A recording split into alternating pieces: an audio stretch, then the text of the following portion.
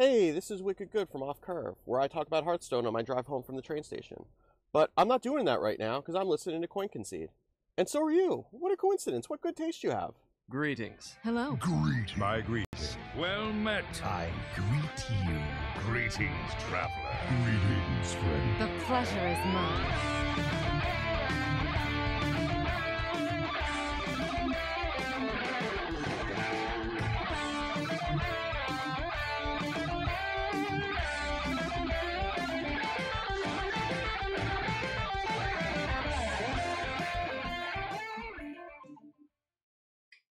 Hello and welcome to episode 136 of Coin Concede, a Hearthstone podcast dedicated to making the competitive side of the game more accessible to you.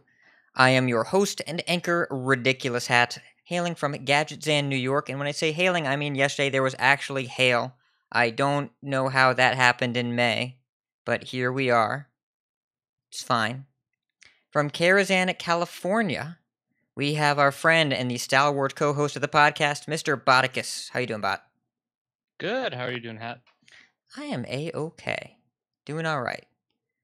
And Fun. we, There's a lot of exciting stuff uh, happened this week. I'm excited to talk about it today. oh yes, well, like one really big exciting thing. um, but yes, there's the great time. The great thing about this time in Hearthstone, there's always something to talk about because it's kind of the season of change. But sometimes we like it when things are just the way we remember them. Do we know anyone else that might be able to uh, help us describe that? Oh yes, it's our friend from Thunder Bluff, Louisiana. One Cinder Ascendant. How you doing? I'm I'm good. It's Oh man, Uh, this is so weird. It's so weird and uh, a little deja vu-y. yes. Well, we had to meet our quota of a single Louisianian, and Appa Yes. unfortunately had well, not unfortunately, Appa was there when his girlfriend, the wonderful Taylor, uh, graduated from dental school and is now uh, Dr. Taylor. So Yep. that's awesome. But of course, that's a little bit more important than this year. I mean, it's like slightly more, A slight, ever so slightly, yes. a little bit, Just a little bit. and that's the tooth. And Cinder is I leaving already us now. Yeah. I already regret coming back. Yeah. Yay! Cinder can be the straight guy, straight man. This uh, That is never going to happen. I don't. I just. I need to burst your bubble now. yeah. It's Cinder has admitted I mean, there's a love of puns. It's absence makes the heart grow punter. You get the idea. You get the idea. I, I'm Move sensing on. so I'm sensing so much regret right Yes. now. We're we're moving on pretty dramatically. Um, but good to have you back, Cinder. Thank you so much for coming on Well, the show you. today. And in fact, let's talk a little bit about what you've been up to. Yeah, I guess so. Well, first of all, know that, go ahead. first of all, no, you you you you make the pitch.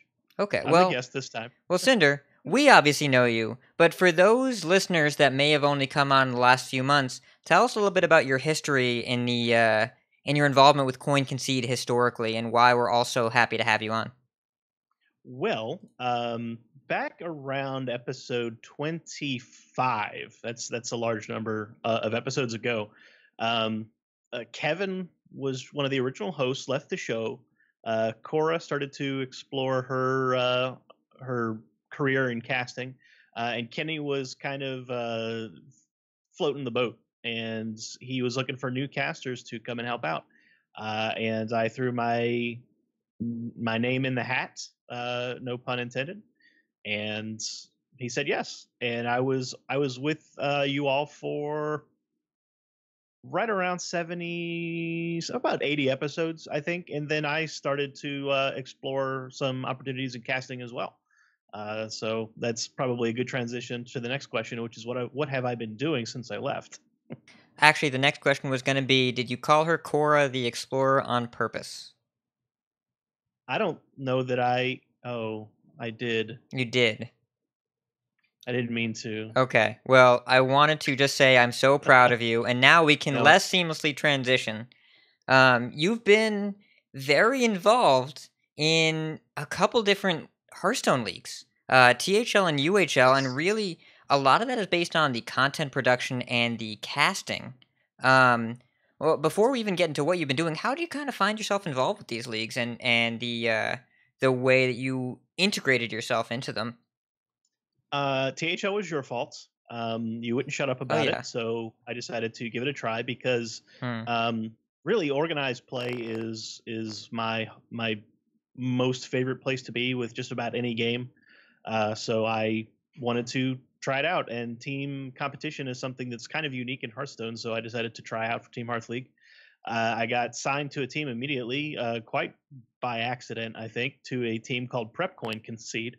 Uh, and I've been home there ever since. In fact, I joined a second team for the Last Hero Standing League, uh, and then for some reason got talked into uh, creating content for THL as well. So then I started making overlays and casting and uh, doing all that kind of stuff. Um, and you know, one of the things I discovered while at Coin Concede uh, was that I really, really love casting. It's a ton of fun.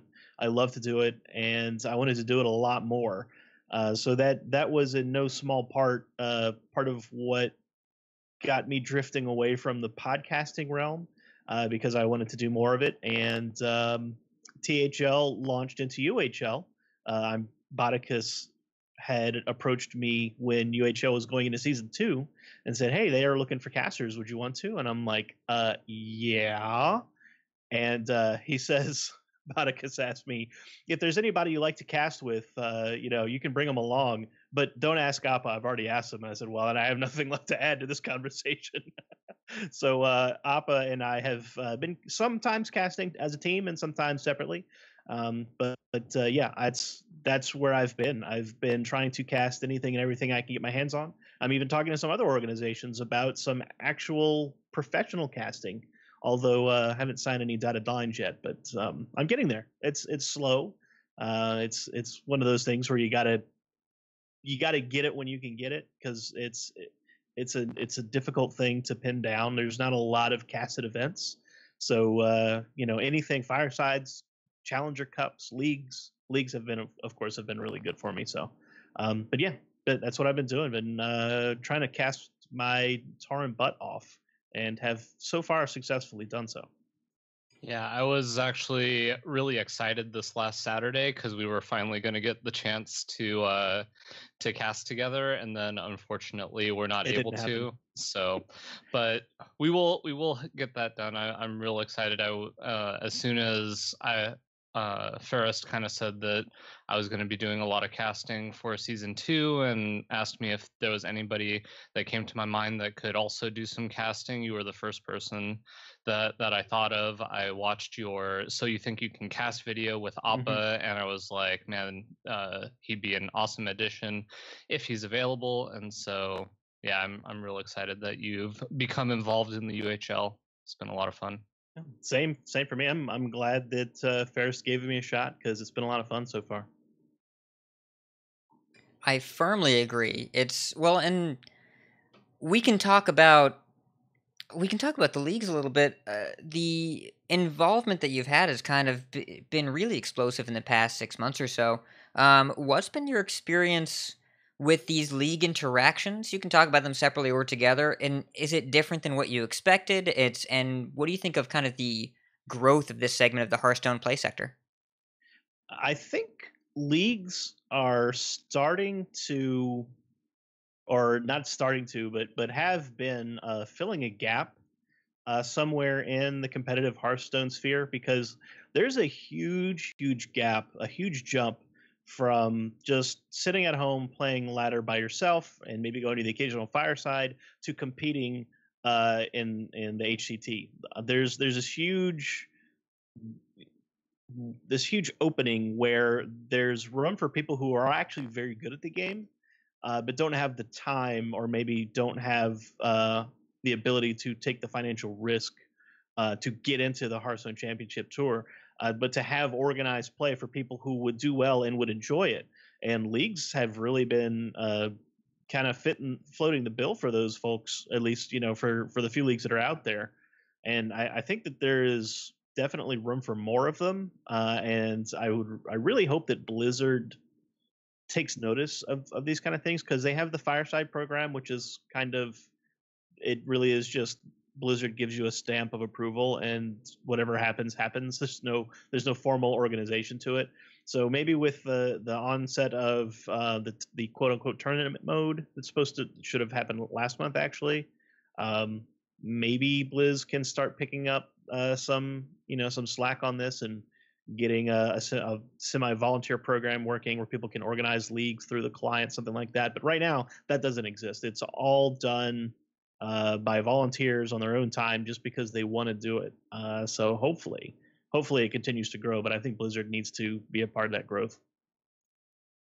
Yeah, that makes a lot of sense. I mean, you think about it that a fireside is kind of the physical analog in the digital game. It's all about getting people together, and that's a wonderful thing, but embracing the game's social and digital nature, a virtual fireside of some sort that you can check into would just it would make so much sense. I I do hope I mean, you know, every single Hearthstone podcaster said tournament mode, tournament mode, tournament mode for the past since 19 always.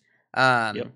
has been talking about tournament mode. So obviously we very much want that, but I think that you're onto something there. It's we have all these grassroots efforts to get people together and yet the game just doesn't support the idea of maybe we can have people together in a virtual sense as opposed to a physical sense. So good perspective there. Now as far as casting goes, how has it been different doing casting on this level than what you expected? What's been what's been the biggest thing that you didn't expect coming into it?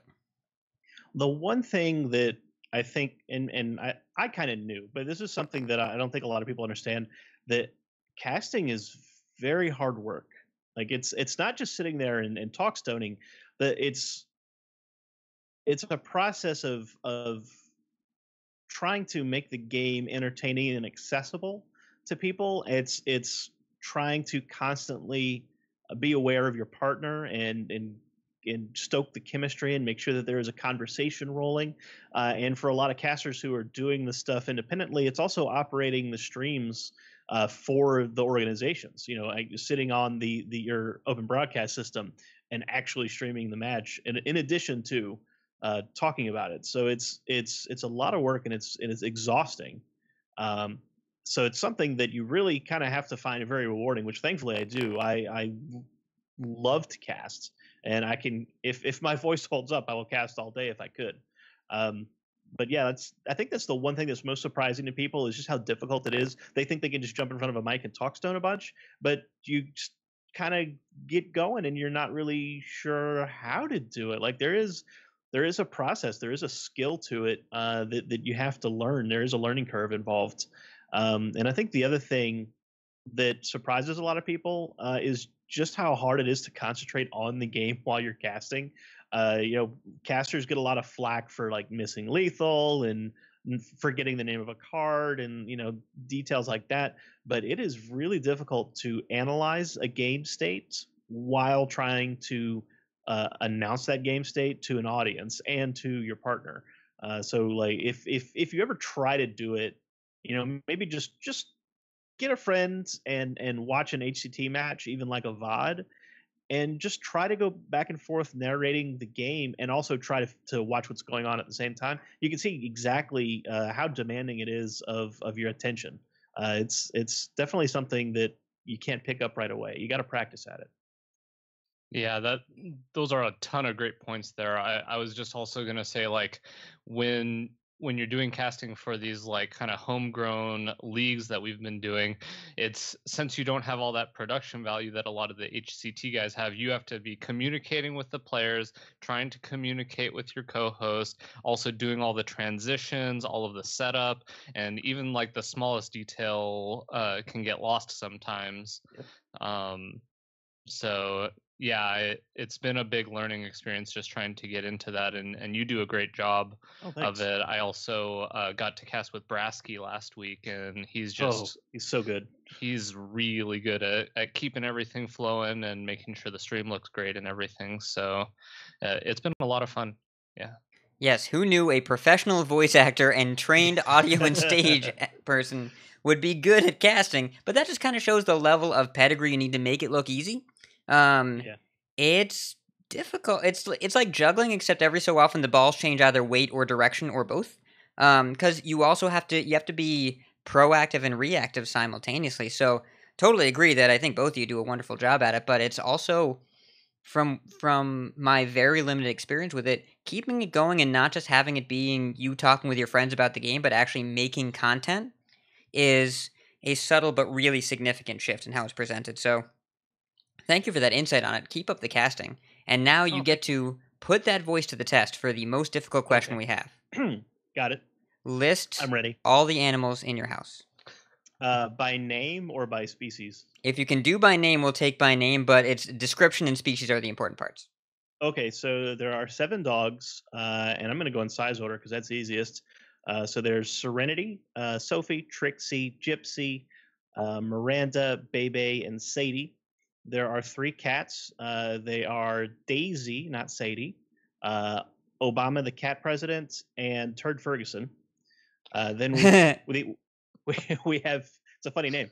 Uh, we have fish that are not named, and I will not name them. But there are three there are three fish tanks and two betas. Actually, the, the betas are named. Uh, there's uh, Taco and Chimichanga. Um, we have uh, one snapping turtle named Zarya. Uh, she is only with us long enough to grow out, so we can release her in the wild because snapping turtles can take your arm off. Uh, so that we we just rescued her and, and took her out of a dangerous situation. Uh, we have a frog outside. His name is Froggo. Uh, he lives in the pond with the goldfish. Uh, we have three guinea pigs. Uh, they are Pigwidgeon, Gandalf Greybutt, and the third one is still just Pig because we haven't named her yet. Uh, we have uh, our girlfriend's rabbit, uh, whose name is Bastila. We have a snake named Salazar, and a cr- single hermit crab who is not named because I can't tell them apart when I have more than one. And I think that's it. Uh, are you sure that's just I'm, it? I'm inventorying the. Oh, I I did forget. I forgot the bearded dragon that is Nymphadora. Wow. I'm Yes. I'm trapped between saying that's a lot of animals and Turd Ferguson. Turd Ferguson. It's funny. You got to say the name. It's a funny name. It's a funny name. It's a funny name. You gotta say it. What do you want? Was the first cat literally the What What was the first cat's name? Uh, Daisy. Daisy's uh, well. The first one I named was Daisy. I Uh, okay. I thought her name was Daisy, not Sadie. Yes, well, Like because full when we adopted her, her shelter name was Sadie, and we already had a Sadie, so I just reversed the uh, hard sounds and called her Daisy instead. Okay. Ah, syllable swapped. Okay. Yeah. That makes sense. And then and then it's Gandalf the Grey Butt. Gandalf Greybutt, uh, because she has a she, they, she's solid white and has a gray butt. That's I don't know what I expected. Just a just has a gray butt. That's it. It's no, it's that you were you were very clear about what was going on there. Um, I am in awe of both your pet management and casting ability to maintain focus throughout all of that. Um, it, it is clear it, you were It actually makes yeah. a lot of sense because you can kind of keep you're keeping all of the pets like taken care of and also taking care of all of the streaming at the same time. Like you're able to multitask very well. I can tell. Yes. Well, Wicked Good calls scheduling scheduling matches or really scheduling anything in large groups is really just hurting cats, and we've got some very experienced cat herding going on here. So, Uh, yes, I'm I'm pretty practiced at it. well, the last question: Do you want to do a podcast? I'm I mean I'm I'm already here, right? Thank you for answering. we're- that's what we're That's a yes. So, tell me about your ladder experience, Mr. Cinder. How are you doing on ladder? Uh, I will be honest. I have been fairly demotivated by ladder lately. Uh, I think the the meta, while balanced, is a little boring. Um, and I it's the, the there's a pretty consistent rock paper scissors, and you can go a single day and hit all of your bad decks.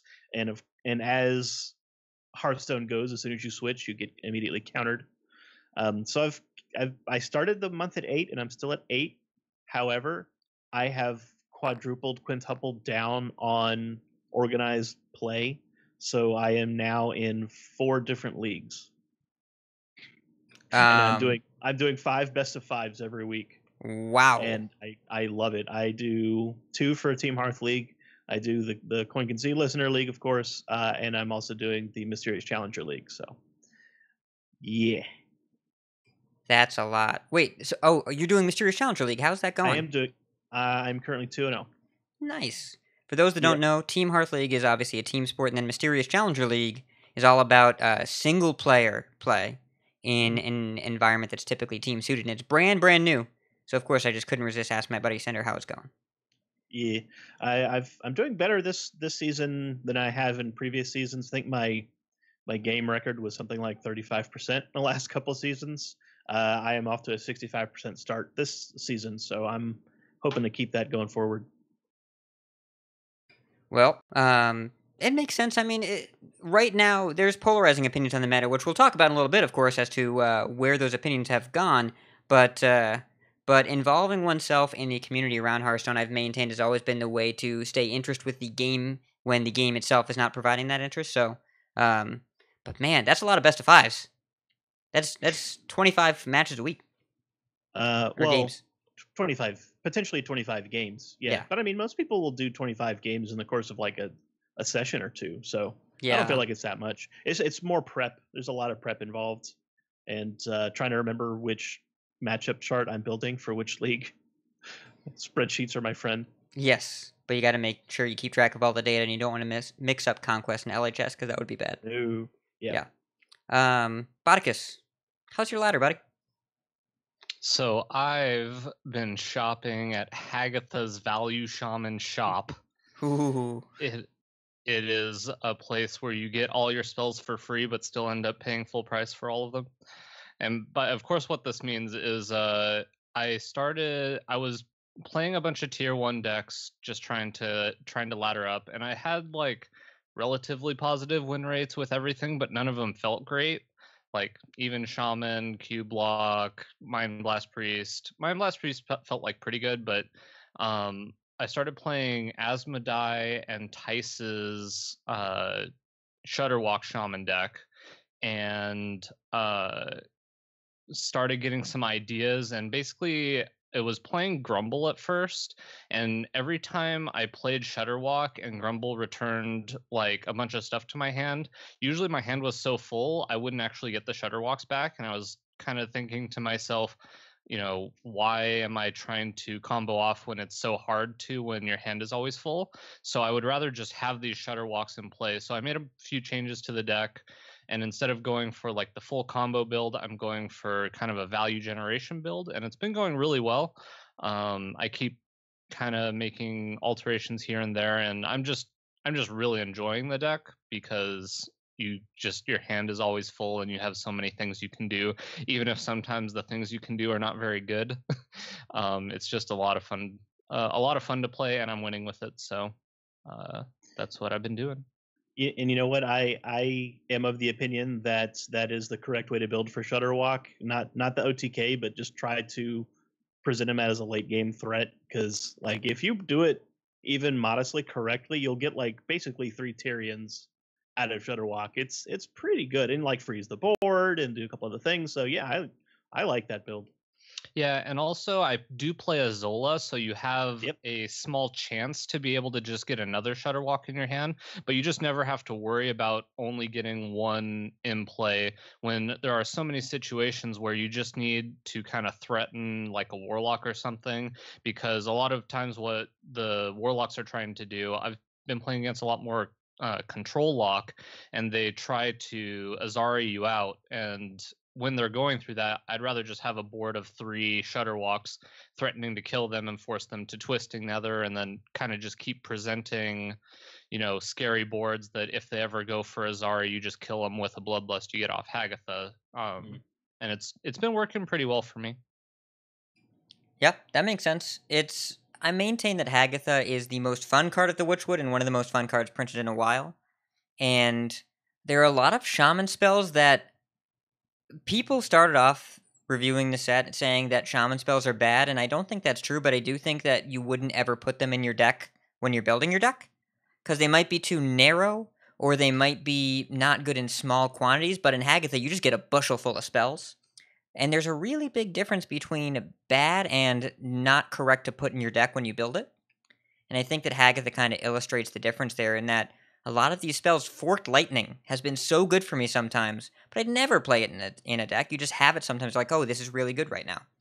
And Yeah, cryostasis i'm Yeah. just like this card everybody hates this card but every once in a while i find uses for it and like it actually the the spell suite just feels somewhat balanced. There's like a balanced amount of removal a just a tiny bit of life gain and a little bit of value cards and then removal and you know stuff like that. So like over the course of many turns of having Hagatha in play, you can kind of sculpt your game around getting in general uh kind of a set number of, of each card and as long as you don't just hit the same card over and over again then um it, it's a fairly it feels like consistent even though the the spells you're getting are inconsistent. And it's actually funny how often i'm just like i really kind of just want a ancestral healing right now because i need a i need a free card that i can just get out of my hand and not even if it's like not really doing anything yeah, I was watching your stream the other day when you rolled Totemic Might, Totemic Might, Totemic Might, Ice Fishing, Volcano. And the Volcano Ouch. won you the game, but the Totemic Mights did nothing other than getting out of your hand, and they did boost a spell power totem once, and it was worth it. Yeah. Uh, I actually sometimes totemic might gets you in trouble because you don't want to buff your totems because you need your totems to die for when you shudderwock because you don't want shudderwock to Zola back a totem to your hand. Yeah. But um yeah, that that was the game where my last creature had to get a volcano out of it so that I could clear the board against a big spell mage and then neither of us had anything in play and they died to fatigue. Oh, right, because it was a Manatide totem and you were both in fatigue, so if it didn't hit exactly Volcano, you were going to die to it. Oh wow. Yeah, Yeah. and they had a they had a water elemental in play. So they so even if I had just like left the water elemental in play, the amount of healing they were doing plus the damage they were doing would have put them ahead, but I was ahead or they were ahead in fatigue. So by clearing everything, I was able to win that game. It was silly. It was a It goofy was thing. It was silly. But walking through that sentence of sometimes totemic might is bad because you don't want your shudderwock to trigger Zola is like, what is going on? Um, I, I will say the deck is like pretty complicated. I I feel like my win rate win rate has been pretty good, but if I got better at sequencing everything and knowing exactly how to play all my cards, it would be even better. So I'm looking for this deck to be pretty good uh, after all the nerfs hit. yeah, I well, and we'll talk about the nerfs in a little bit, but I think there's just so much opportunity for the meta to open up, and we'll get into that. I'm not going to jump too far ahead here. Um, I'll talk briefly about my own experiences. I hit legend last week, as I discussed. So this week I've been I keep losing the Cubelock, and I can't win with it. So I spent a few days just saying I'm gonna learn how to play this, and I spent you know a couple nights just losing every game I could, and the deck is really, really, really difficult to play optimally. And then I spent a day on stream like doing okay with it and winning, and then the nerfs were announced, and I'm like, well, guess I'd better do something else with my time. Um, There goes that idea. yeah. Well, I'm glad I spent the time to learn it. I just wish that wasn't like learning a language that doesn't exist anymore. Like it's I feel like I'm now fluent in Prussian. Um I think it's pretty aggressive to say it doesn't exist anymore, but we'll definitely Yeah. talk about that later. yeah, yeah. Not quite in the same form, but yes, you're right. Um so instead Steve Wicked Good was talking about playing Control Priest. And I'm like, "Hmm, Control Priest, huh? Y'all got any more of them life drinkers? Got any holy fires?" And it turns out that Senfglas was playing a list that Meaty took to top 10 legend that was basically burn control priest, which is like the mind blast priest, except it plays life drinkers and holy fires. And then it got refined a little bit by Monsanto, who basically made a dragonless. It's somewhere between Raza and Freeze Mage, and that it's all board control, card draw minions, and kill you stuff with Anduin and Alex at the top. And then Casey modified it even further today by including Holy Smites. And the title of the deck is Don't Geist Me, Bro. So, the, uh. It feels so much like Raza Priest without Raza that it's both sickening and somewhat comfortingly familiar. And so I've been trying that out. It's really good. It plays it. Spirit Lash, and it's really, really good. Spirit Lash is so fantastic right now. It's like Master Blaster Priest, right? Yes. Uh, that's what it reminded me of from uh, Velen's Chosen. They called it Master Blaster Priest. Yeah, well, that was Zetalot's build from last season. This is even more aggressive in that it is straight up not trying to fight for the board. It doesn't play Duskbreaker, it doesn't play Primordial Drake. It's it's straight up draw cards, stop from dying when I have to and only when I have to, and then critical massive burn over a short period of time that you can't stop or kill me during. And it's really effective, and I imagine that we'll be seeing that around for a while after after the nerfs go into play. I hope so. Yeah, maybe. so we said nerfs a bunch of times. We haven't talked about the news yet. Botticus, why don't you take us into Newsland?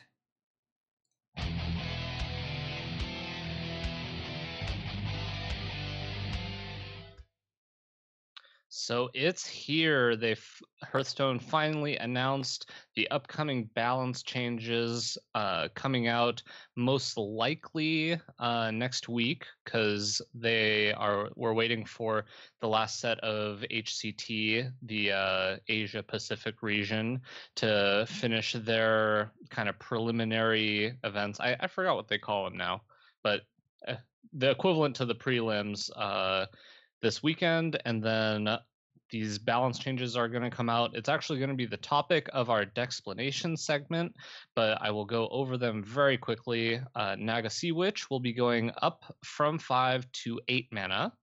Spiteful Summoner will now cost 7 mana, up from 6. Dark Pact is only going to restore 4 health instead of 8. Possessed Lackey going up from 5 to 6 mana and Call to Arms going up from four to five mana.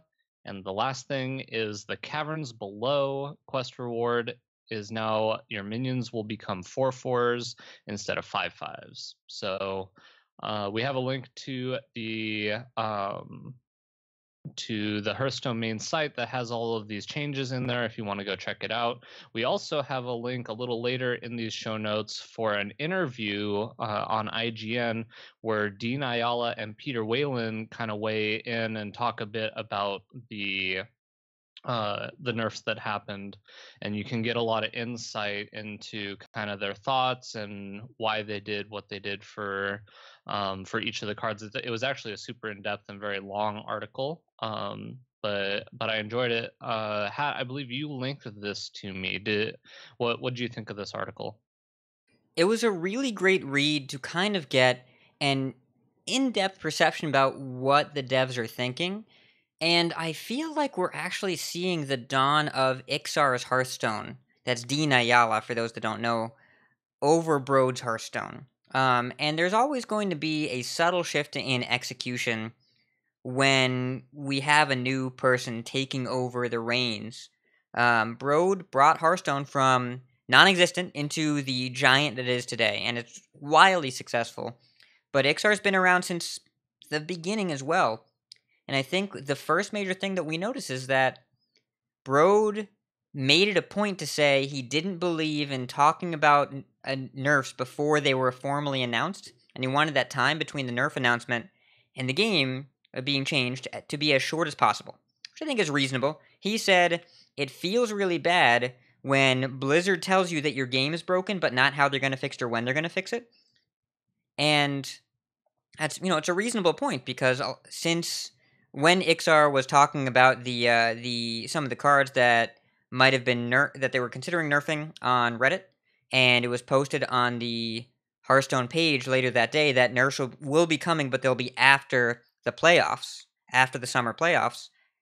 There, there came this kind of wave of speculation combined with disillusionment. I think that Brode's prophecy came true that people knew something was wrong but weren't sure what, and we're just saying, what are they going to do? What are they going to do?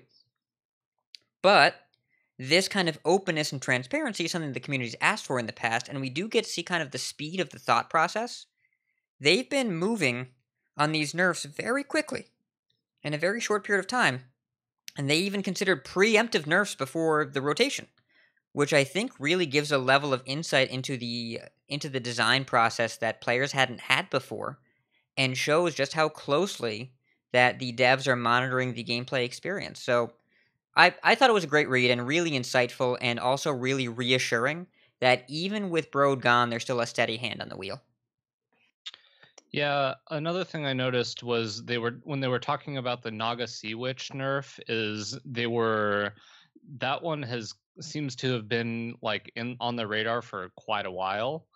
Um and they really took their time with it and they were willing to let something that is cool. I mean, I've played the Naga Giants deck. I think it's kind of cool the first couple times you go go off with it, but kind of let it see if it's going to pan out to be one of these decks that kind of everybody's playing and then once they finally found out that okay this deck's not going away now we're going to kind of nuke it into orbit as hat likes to say.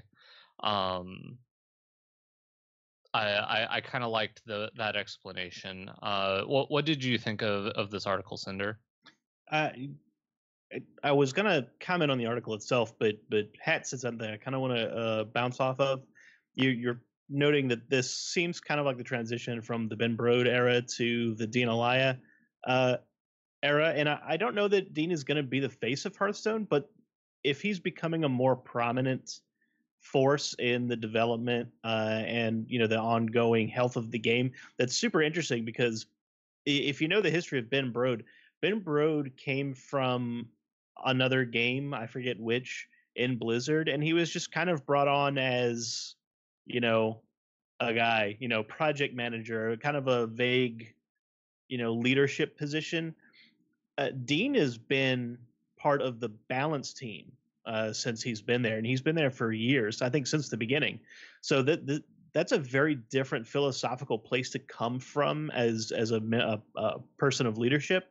So this the fact that uh, Iksar was able to or willing to come out and talk openly about the the philosophy of the nerfs, uh, I think is is really indicative of that potential shift in leadership paradigm.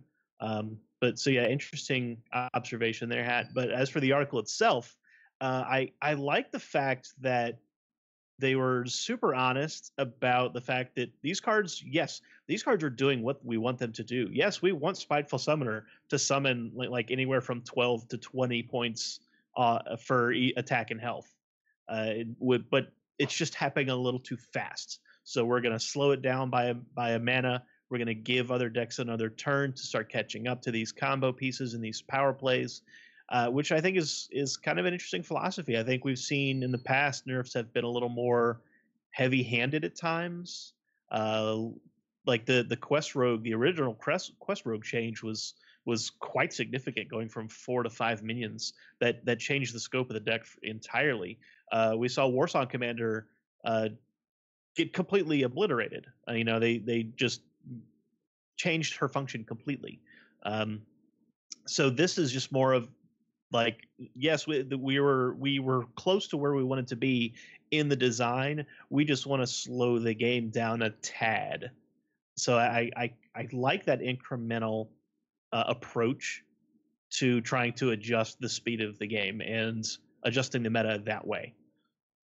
Yeah, it seems very important to them that you if you build a deck like Cubelock and you enjoy playing Cubelock, even if you're a very small minority of the player base and the majority of the player base hates uh, the deck like Cubelock, uh, you're still going to have a deck that you can play after the nerfs. It's not going to completely ruin all all of this time that you've spent, you know, putting into it. It, it just mm, trying to get it into like this narrow power band as as I heard Ben Brode say once in a in one of his videos uh, he was talking about why they don't buff cards is because you're they're trying to get as many cards into a pat what kind of like a power band and and make it so that there's just a lot of viable options for people so I felt that was all very interesting. Uh, did you have something else to say about this hat? So I was curious and I looked up what Bro did before Hearthstone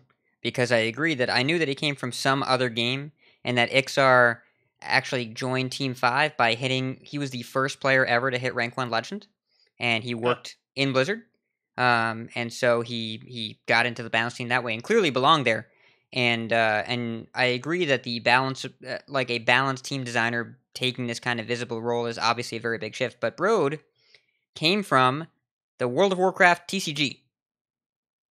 So ah He- that there you go so he was apparently one of the founding members of the WoW TCG design team uh, until Team 5 was made, and then joined the Hearthstone design team. So he also has years and years of card design experience, but it seems like he was all about initial design or the design as opposed to the the design as opposed to development, which is what Magic would call it, about making the cards as opposed to honing the cards. So he definitely had a different approach there. Did have a lot of card game experience, um, but you know, WoW TCG was a very different beast as well. So it makes sense Yeah, it that was. that Iksar is kind of born and bred by Hearthstone. That is the card game environment that he knows, and he's been working on balancing it for years and years and years. And we'll talk about it a little bit more, but I think this round of nerf shows, like you were talking about, well, the infamous remark was the soul of the card, right? And Right. they've learned the soul of the card doesn't mean keep the mana cost and the power and toughness the same. It means keep the text of the card the same.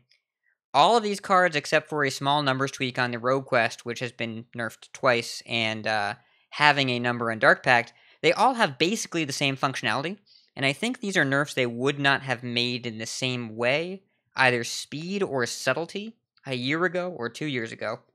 And uh, that also shows a different philosophy. This, these have probably been in the works for a little while, but I think that if they were nerfing under the old philosophy, you know, it's possess lackey might give all your demons plus one attack, or maybe Shudderwock would have been nerfed into the ground or said repeat, you know, a random battle cry or something. eh, They might have been either more overreactive or underreactive and only nerfed maybe just call to arms or just possess lackey, but instead they they took a more nuanced approach that I think we'll talk about it later, but it might be more even in terms of power level distribution.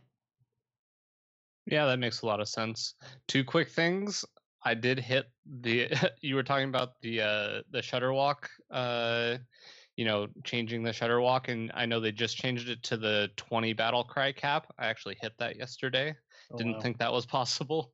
Um but also you were talking about high legend. Did you guys see uh the Chalky and Iksar interaction on Twitter? Yes. I thought that was hilarious. that because you were saying the Iksar was one of the first to ever hit rank one legend.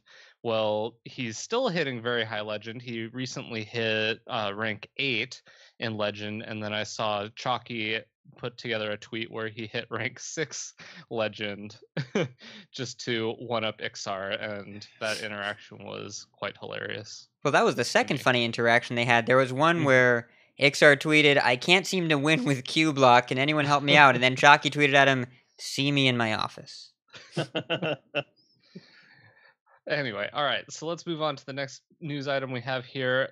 They're having the first official Hearthstone cosplay contest. I think this is pretty sweet. So we have a link in our show notes. You can send a email to this email address in the in the link and uh, of a Hearthstone cosplay and the winner is going to get a replica Aluneth staff, as well as a trip to Cologne, Germany for Gamescom 2018. I think this is really sweet. Uh, Cinder, have have you seen seen this uh, this post here? It's on Hearthstone Top Decks. I I learned about it uh, by reading these show notes, and I read it. Um, and this this uh, is definitely relevant to my interests. I'm not a huge cosplay person, but my life partner, spouse person, she is. Uh, she is a cosplay queen, and we are already planning out something amazing. And uh, we're definitely going to go for this. I think. Sweet. Uh, Hat, I think you put this in the show notes. Uh, how did you hear about this? I heard about it by going to one of my favorite websites, Hearthstone Top Decks, and scrolling down the news section. Got it. Okay. So. Unfortunately, I don't have much uh, connection with this. I I am a cosplay appreciator, and I will say that at BlizzCon there was so many cool cosplays that I really enjoyed seeing. Um, but I am not a cosplayer, so curious to see what the designs are. And that replica Aluneth looks badass. yeah, I'm Evidence looking as always, like getting all the news scoops. Oh yeah, it's. I will be straight with you, listeners. When I want to know the Hearthstone news for the show notes, I just go to Hearthstone Top Decks and Hearthpwn and just scroll through the list, and anything that's on there, I put it there. And that is pretty much the news preparation process for the week. And it gets everything every time. Well, the next news item we have that I got just from going to the Hearthstone main site, because that's how I get my news, is uh, we have the top Hearthstone players for April 2018 uh, with a link in there. And I wanted to say congrats to a couple coin concede ers. Uh, Reganis Prime finished number nine on the wild ladder. Holy cow. Uh, I think that's a new high. I'm pretty sure that's a new high for him. Uh, and then all, we also had Woodford getting 94th, Appa at 101, and Cream Puff at 108. Uh, if you are a coin conceder and I missed you, I do apologize. I tried to go through it quickly and and remember any names, but definitely hit me up if you were on there too. I'd I'd love to give you recognition for doing well because getting high ladder finishes is, is quite impressive. True facts. Uh, so the next piece of item or the next item I have on here is uh, the second batch of BlizzCon tickets went on sale and sold out instantly, as they tend to do. Uh, but I wanted to give an opportunity for people if you're looking to buy legitimate uh, BlizzCon tickets and not try to get you know get them from scalpers off eBay or anything. There's a website you can go to lfblizzcon.com. Uh, I know that both Hat, I, uh, Hat, Appa, and I will will be there, and uh, hopefully we can see some of the listeners there too. I'm real excited about BlizzCon this year. Oh yes, Uh, same. We actually just yeah. looked into it as well. Uh, that contest, the cosplay contest, is Europe only. So oh, if you are in Austria, Belgium, Bulgaria, Croatia, Cyprus, Denmark, Estonia, Finland, France, Germany, Greece, Hungary, Ireland, It- Italy, Latvia, Lithuania, Luxembourg, Malta, Norway, Poland, Portugal, Romania, Slovakia, Slovenia, Spain, Sweden, Switzerland, Czech Republic, Netherlands, or United Kingdom, you may enter. If you are not, then you may observe. observing will still be pretty cool. I think. I think there's going to be a lot of really great Yes. submissions. I expect a lot of great ones. Um, last little item I had on here that I just added because I thought it was pretty funny and I saw it on Reddit last week. I don't know. Did either of you play the Tavern Brawl from last week? Yes. uh, so somebody got a hundred wins in the East or the sorry, not Easter, the uh, Noble, Noble Garden, Garden. Tavern Brawl, and Oh, I just man. ha- I just have to tip my hat to them because Don't tip me. be I don't want to be tipped. I that that brawl was a bit of a chore. I I won't say I didn't enjoy it, but my one and done took quite a while because when that the eggs hatched and they they went sleepy, so you didn't get to attack with them right away. So each minion was basically slept for two turns. Uh, so it took a while to actually finish, but I, I I guess this is proof that there's no wrong way to enjoy Hearthstone because there's something for everybody. yep definitely It's the brawl this week is so much more fun though. Last week was uh, Yeah. the egg brawl. I think what slowed it down for me uh, was that the minions after they hatch can't attack. So it's because you got an egg each turn, and then you could dye it and give it a buff when it hatched, and the eggs were uh, stealthed. And then when they hatched, it gave you a minion, but it couldn't attack the same turn you got it. So you kind of prepped the egg, then turned it hatch. You waited until the next turn to actually use the minion that was inside it. So it felt like basically a really, really small snowball that just took forever to get going. And uh, this week's brawl is much more fun. It is top two, where you take two cards, and your deck is 15 copies of each. And boy, is it fun. Yeah, I like this one a lot. there's a lot of cool combinations. My personal favorite right now is uh, Armor Smith and Warpath because it beats all of the decks that are not the one that Cinder proposed, which was Uh, it is Naturalize and Forest's Guide. Um, whenever you we, top two comes up, my first card is always Naturalize. Like in, end of story. what else makes my opponent draw cards? Because Naturalize is one mana, hard removal, and gives you a win condition all in one card, and you get 15 of them. Why would you never run that every single time? Um, it's I, I tried thinking about how you beat that all day, and it seems pretty difficult to beat. It's not perfect, but you know, pretty the hard to beat one mana removal. The Yeah. only deck I know that would probably be pretty good against it is the Mind Blast, which I've seen Yeah. quite a bit. But it, it feels like there's kind of a rock paper scissors because obviously my Warpath deck can never beat, never in a million years beat uh, Naturalize. Yeah. I was doing so I tried Knife Juggler Call to Arms. I will say that I also had the idea uh, this is a fun deck, not a good deck, a fun deck of playing a Crystal Core, the Rogue Quest, and Feral Gibber. Because, you know, Feral Gibber, you play it and then you attack with it and you get another copy and you just keep repeating it over and over again.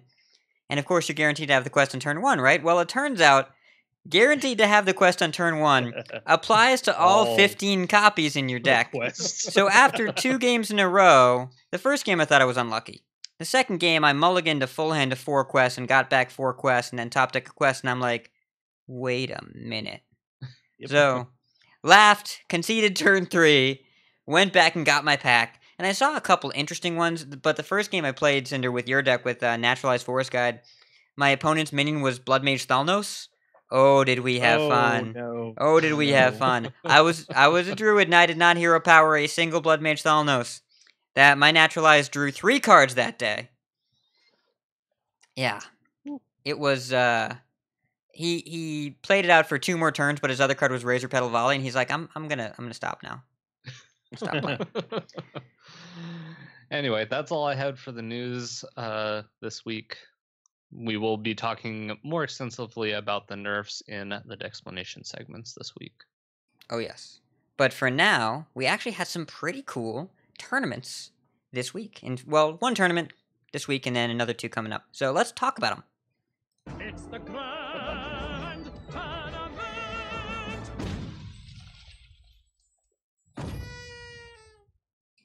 All right. I've been practicing my auctioneer voice with a bunch of European countries.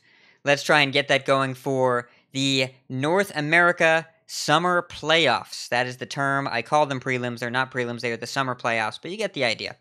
So the top four that qualified, again, this is a top four, bottom four cut.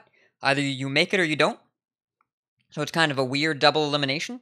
But the four players that qualified are Reis from Brazil, Nalguidan from Argentina, I believe, Dog and Yes. Killin' All Day, who are both from North America, from the USA, over mm-hmm. Fibonacci, PNC, Muzzy, and the Jordude. You can tell is a totally loaded top eight. All of those players with extensive competitive history. Um, and then before we get into the meta, the collegiate top eight champs were announced as well. Those those that tournament didn't happen this past weekend. It happened about three weeks ago. Cora cast it, but just wanted to remind everyone that is still going on, and the finals are this weekend. So we'll be talking about that in a little bit. Um, but as far as the NA prelims go, there was some high level Hearthstone. This is a skill intensive meta, and most of the lineups that did well were the ones that were generally the best decks. But there was some off the wall lineups, and there was some really, really high level play that we'll talk about where players won games that looked completely written off.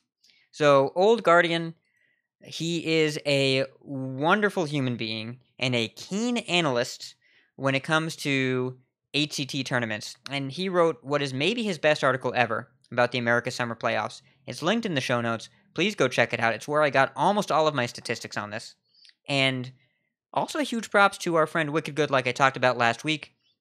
He built this interactive deck list and card information dashboard that you should totally check out. If you are a data nerd, this thing will make you ecstatic at how incredible it is. And it's interactive, and you can mess with it and see individual cards and decks and players, and there's a lot going on there. So, thanks to both of you gentlemen for the help in getting this report together.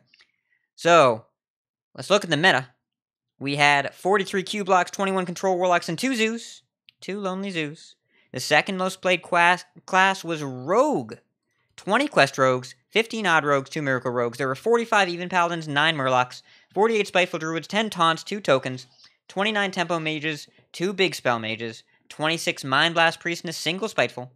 And then we get down to there were 6 Hunters, 4 of them were Spell, 2 were Baku Face, 6 Baku Control Warriors, 2 Recruit, and 3 even Shaman. Shaman, the most underrepresented class, and there were none in the top 8 and no shudderwocks to be found. Now, as far as the top eight, we ended up with eight out of eight warlocks, five cube, three control, seven out of eight druids, five spiteful, two taunt. We had five even paladins, four quest rogues, one odd rogue, two Baku control warriors, and one recruit in the top eight, two mind blast priests, and two spell spell hunters. We actually have the deck list available to us as well from APAC. And we haven't dug into them too far yet. We'll do this full analysis and breakdown next week after we have the top eight to speak about. But I think these statistics really paint a clear picture as to why the meta needs a change. There were 71 players and only 18 archetypes represented. 68 out of 71 players brought Paladin, and every single one was an even Paladin. There were six, there were 68 out of 71 players that brought even Paladin only, and no one considered any other Paladin archetype. There were 48 Druids out of 71 players. Every single one was Spiteful Druid. All of them. It's that kind of pigeonholing of an archetype, and you'll kind of see that as well when we get to talking about the collegiate meta, is an indicator that maybe some balancing needs to happen when there's one clear choice above the rest. As far as the collegiate top eight, just to give you an idea of what we'll be expecting, again, these games were played about three weeks ago. But we had five Cube Warlocks, three Control, five Spiteful Druids, five Mind Blast Priests, four Quest Rogues, one Odd Rogue, four Even Paladins, two Big Spell Mages.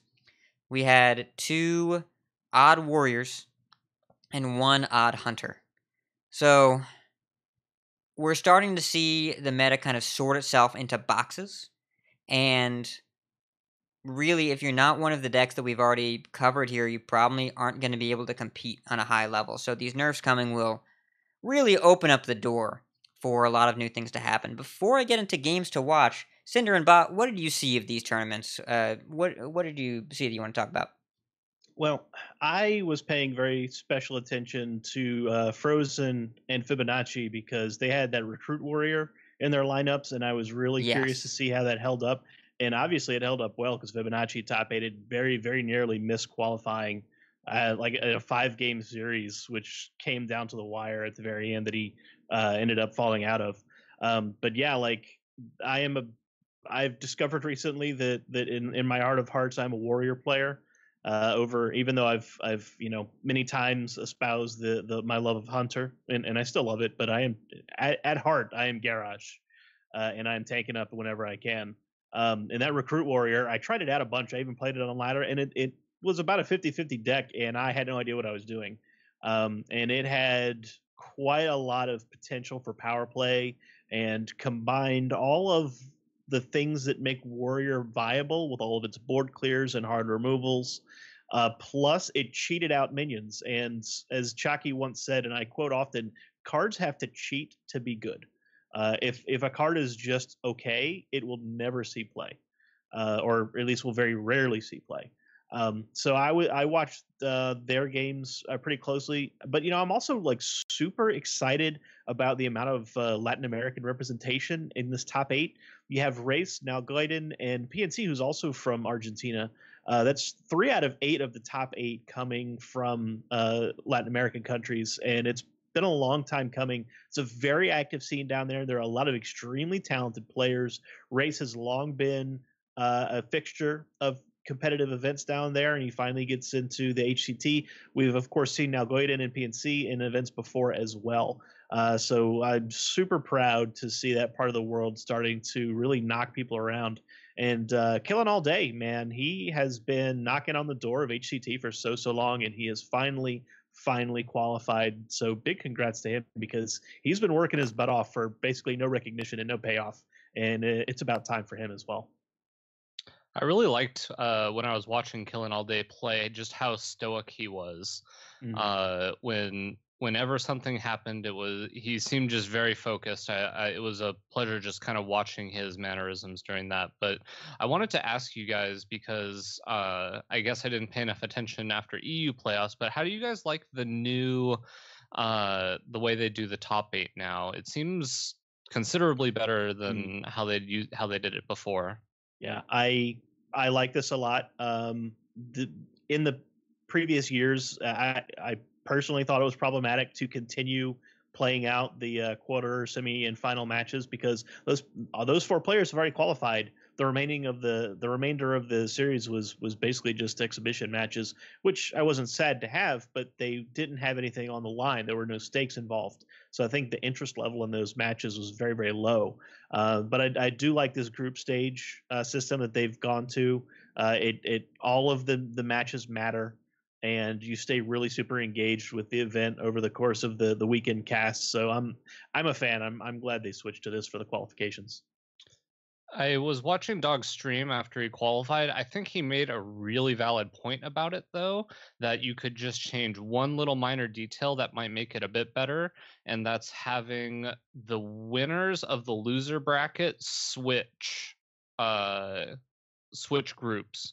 So so basically what happened is Fibonacci played Killing all day and lost um, and then got put into the losers bracket. Won his won his match to get a chance to play again, and then had to play Killing all day again, Yeah. which just happened to be his like completely a counter lineup to him. Whereas at least if you switch the switch the groups for that for just those last two matches, then you're not locked into a group where you might just have a matchup that you are just extremely unfavored against. And I think it, it sounded to me like a pretty logical um, way to change it, but I wanted to get your guys' thoughts. Uh, yeah, I, I that makes sense to me. Um, it it does kind of violate the idea of it being a group, but I don't really. I think that's arbitrary and doesn't super matter. Uh, but that actually does make sense because having watched a lot of these group stage uh, type uh, qualifiers, qualifying rounds, that happens a lot. Uh, where you get a rematch for people who drop into the lower bracket. Uh, so yeah, I'm, I'm, I'm, I would be okay with that. It probably needs to be tested, uh, but I think it's a good idea. What do you think, Kat? It's it makes sense. I think that competitive integrity is present either way, and replaying a match that where in a format where your lineups can matter so much, I think giving a player a fair shake. Well, I guess it's it gives that feeling of more agency in a player's ability to qualify if they cross over and play a different match, right? Because if they play against a lineup that's really bad for them and they if they know that if they win they might have to play against it again it kind of removes that player's agency from the ability to qualify there right like i wouldn't want that win to be not given but more favored for one player um, if they get to play against the same opponent twice and they're really favored for them it's it's a small tweak but i think it makes a lot of sense uh, it's dog's a smart guy and otherwise all I had. not playing out the top four makes a lot of sense to me. There's already so much fatigue in playing this out. I mean, we're talking about up to 10 matches of Hearthstone over the course of the weekend and intense, grueling, long matches where the brain is tuned to full power at all times. Um, I think it's a really simple and easy change to make, and it's not necessary to have the players play out anymore if they're if the thing that they're fighting for is shared equally among four people. There's no stakes. There's no point in playing it out. So I agree 100% that it's a good change. Now, as far as games to watch, I really don't want to undersell exactly how great of a tournament this was to watch. Um, pretty much every game I saw was interesting and fun. The casting was great, almost universally. And in particular, I don't know what Kibler did this weekend, but he was on fire. Every cast he did this weekend was particularly, it, it stood out in humor and understanding of the game, and he really seemed engaged with what was going on. Uh, He usually is, but for him to be when he casted Dog versus Muzzy in Game Three, with uh, Muzzy was playing the mid-range Tonti Token Druid, Kibler spotted his lethal with Savage Roar, Savage Roar branching paths a turn and a half early, and it ended up being the play. And so that kind of insight was really fun to watch. But as far as matches that really stood out to watch, Dog versus Muzzy Game One even Paladin versus Control Mind Blast Priest, you kind of get here a masterclass on discipline, long term game planning, and playing the outs under pressure. Dog had an even board with Muzzy being even Paladin, having a handful of cards, as even Paladin always seems to, and Dog was playing Control Priest, probably at about the same amount of cards, and he had a couple of minions down a Primordial Drake, and I think some random other minion. It was a end up being a three three, um, and the board is relatively even. Muzzy had a few more minions, and dog Alexstrasza's Muzzy's face. An offensive Alexstrasza on an even board, just saying I need to set up this out, even though you're going to keep pressure on me. And Muzzy wore him down and wore him down and wore him down, but Dog got the Anduin, and Dog set up for the top deck where if he got the Mind Blast, he was going to win, and set himself up for the perfect kill. So it was a really impressive turnaround of the game, and it's definitely recommended if you want to see how far into the future the pros are kind of planning for. Now, there's another series I want to talk about, and that's the entire five game series of Fibonacci versus PNC. Now, hmm it's oh my god, this series was so good. And Cinder, did you watch it? I did. Oh, yeah. yeah. it was really good. I, I'm I'm a Pansay fan for sure. I am a Fibonacci fan, at least in the Warrior field. He's a bit of a bit of a salty dog uh, on Twitter, uh, but I love seeing him play. I mean, uh, we we we, we were talking about the the unique uh, archetypes. We we saw what 17 or 18 unique archetypes. Two of them were there because Fibonacci brought them. Yeah. uh, that being the hunter and the recruit warrior. So he's he's a super creative guy, always thinking out of the box. So I, I love watching him play. And Payense is is an operator. Uh, so watching these two giants fight was quite quite the match. it was really impressive watching them go back and forth. And the thing about pro level play is that the way they set up these games is so different in the early and mid game. They often wind up in game states that that you never really see on the ladder because you don't get this kind of level of competition. So this series was very tight, but PNC's Quest Rogue got swept, and Fibonacci was playing Hunter, Control Warrior, and Control Priest. And Quest Rogue couldn't win a game. And I know Hunter seems easy. It was Spell Hunter, but yeah, isn't that absurd? It's just Yeah. it's absolutely absurd. Now this was That is absurd. it was Recruit Warrior. So the so PNC in game one, his Val'anyr hit a Saronite Chain Gang against Control Warrior. So we all know how that goes. Val'anyr on Chain Gang against a deck that's all about generating value through removal is gonna there's gonna be some problems there. And from there the pressure kind of snowballed and PNC was able to to take that game. But game two, it was a Quest Rogue versus Recruit Warrior. And Fibonacci was like, well, I guess I'll play a Blood Razor and attack on turn four, coin out, gather your party on turn five, and I guess I'll proc this Grom. By the way, you take 12. Two turns later, the game was over. Wow. Yep. Basically said, if you don't have Vanish, I'm going to win this game because there's no removal in that Quest Rogue deck, and that that was the correct way to play. Uh, I mean, it, it obviously it required some luck because that that Recruit Warrior deck only has five minions, uh, so it's depi- minus what's in in hand. Uh, you know, it's it's a one in X. You know, and one in five being the the least the the high, the, the smallest fraction there. So it's it's not very likely that you'll get the card you need, but he got it. I mean, of course, he probably would have done just as well with um, if he had pulled out the Lich King or or Ysera or something. But Maybe uh, even yeah, Rotface. yeah, even Yeah, Rotface would have maybe a Rotface. It's there was there was a lot going on there, but to watch the warrior win in such convincing fashion was startling. Uh, Spiteful Druid came back to beat the Spell Hunter on uh, on game three, but game four, Spell Hunter versus Quest Rogue. Now, Spell Hunter is not necessarily the fastest deck in the world, right? It's Mm. it's got some pressure, but it's not the fastest deck in the world. So it got to the point where PNC was in a low life total, and Fibonacci got vanished, but had his opponent on the ropes, and the Crystal Core had been played. So Fibonacci's game plan became don't play a minion for the next four turns, because that way my opponent can never play Vicious Scalehide to gain life. And he ended up finishing off the game after four turns of not playing a minion that he had in hand and just applying pressure to the face, and that being enough. It, and again, just his read of the situation was impressive. But game five was the story of the anemic beatdown squad, the control priest getting the quest rogue to 12 life by turn six. Just by attacking with wild pyromancers and right. gluttonous oozes. It's the anemic beatdown squad is what Kibler called it, and again, Fib played around Vicious Scalehide very well and ended up winning by he put his opponent to four life and basically said, no, two life. Basically said, I have two turns, maybe three, to draw either Holy Fire, Mind Blast, or Shadow Visions. And on the very last turn, that Holy Fire came up.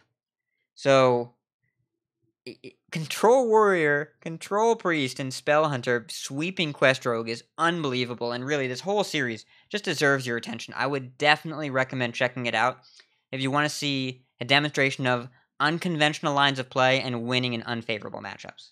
It was super cool to watch. Man, I want to go back and watch it again. No, I want to go play Hearthstone. But before we do that, why don't we talk about the most important topic of the week? Good old nerfs. Before we get there, no thank yous this week, no reviews on iTunes, but just wanted to point out again, if you leave a review this month, you are entered in a raffle for a free coaching session, which is normally a $10 benefit. Drop us a review, it really helps other people find us on uh, on iTunes. Okay. Explanations. Here we go.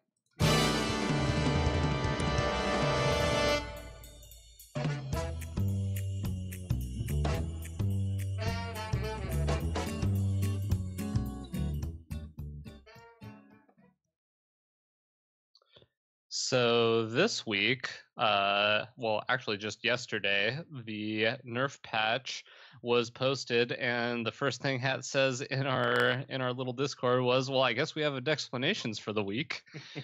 Uh, so this week, I figured, you know, we'll just talk about each of the nerfs uh, one by one individually, kind of get everybody's take on it and how we think it's going to affect the meta going forward, and kind of whether we think that this was the right direction to go with with each of the nerfs. So I guess we'll just start at the top. I think this is. Uh, I, I don't know if this is the most important one, but this was this was the one I think that was needed the most out of all of these.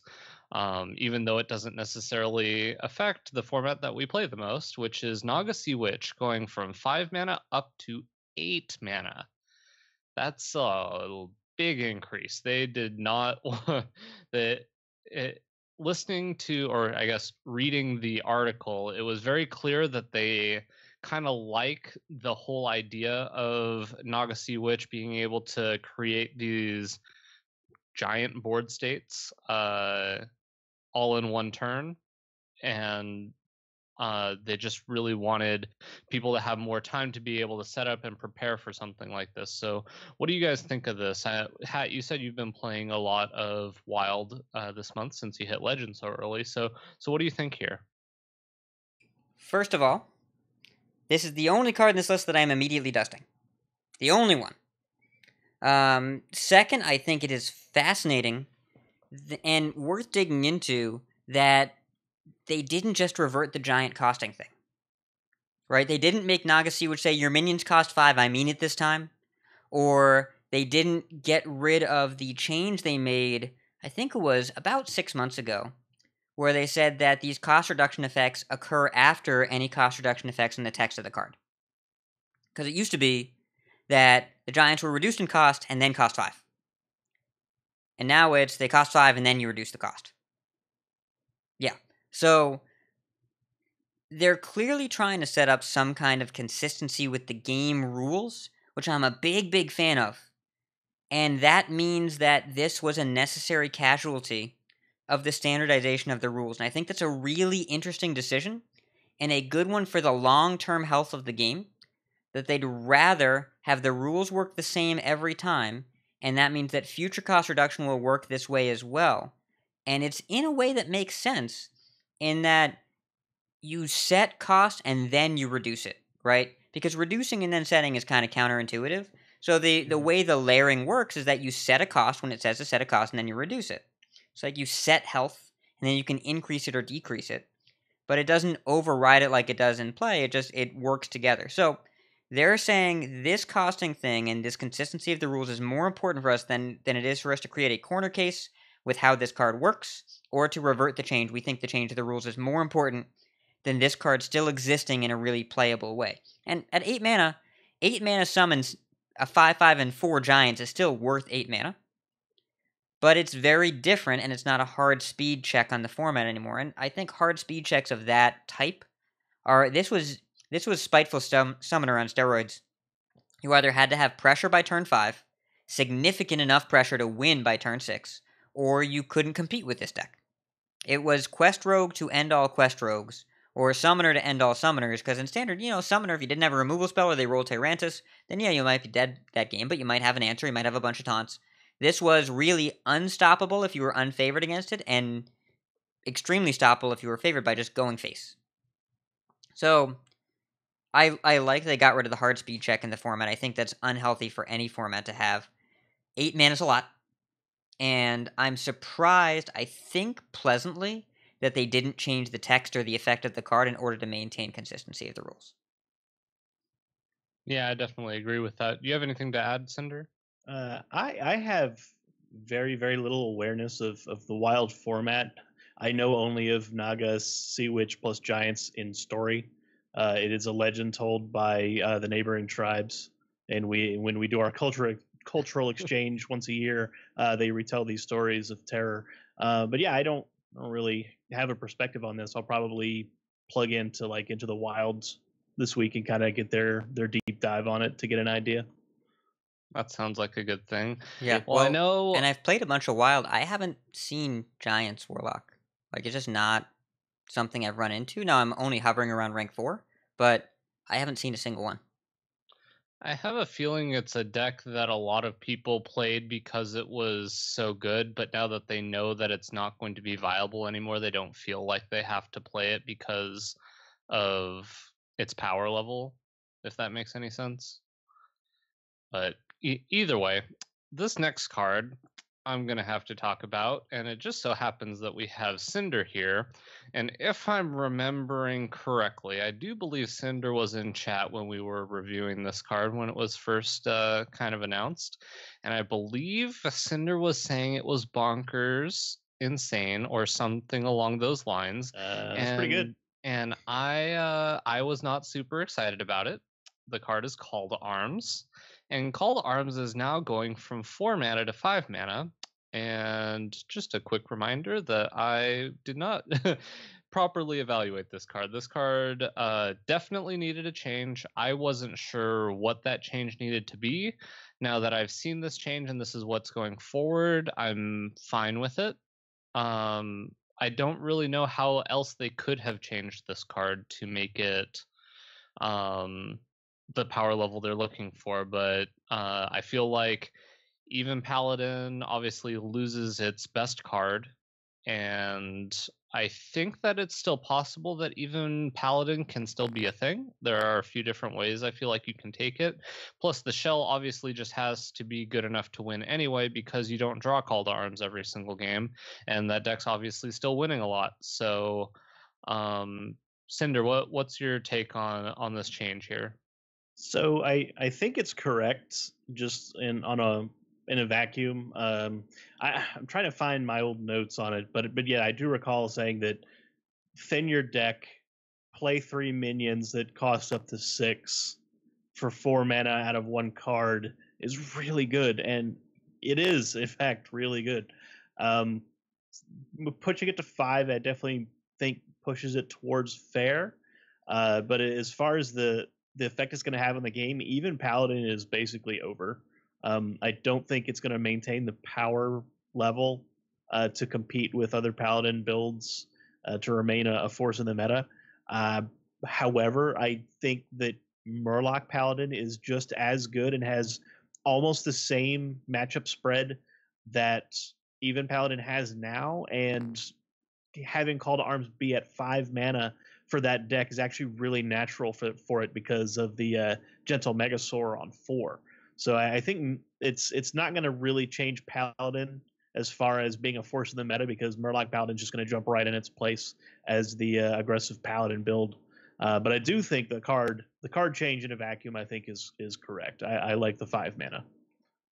Yeah, I think just delaying it a little bit, giving the uh giving some decks just a little more time to kind of develop their board so that uh when the call to arms comes out it's not so backbreaking.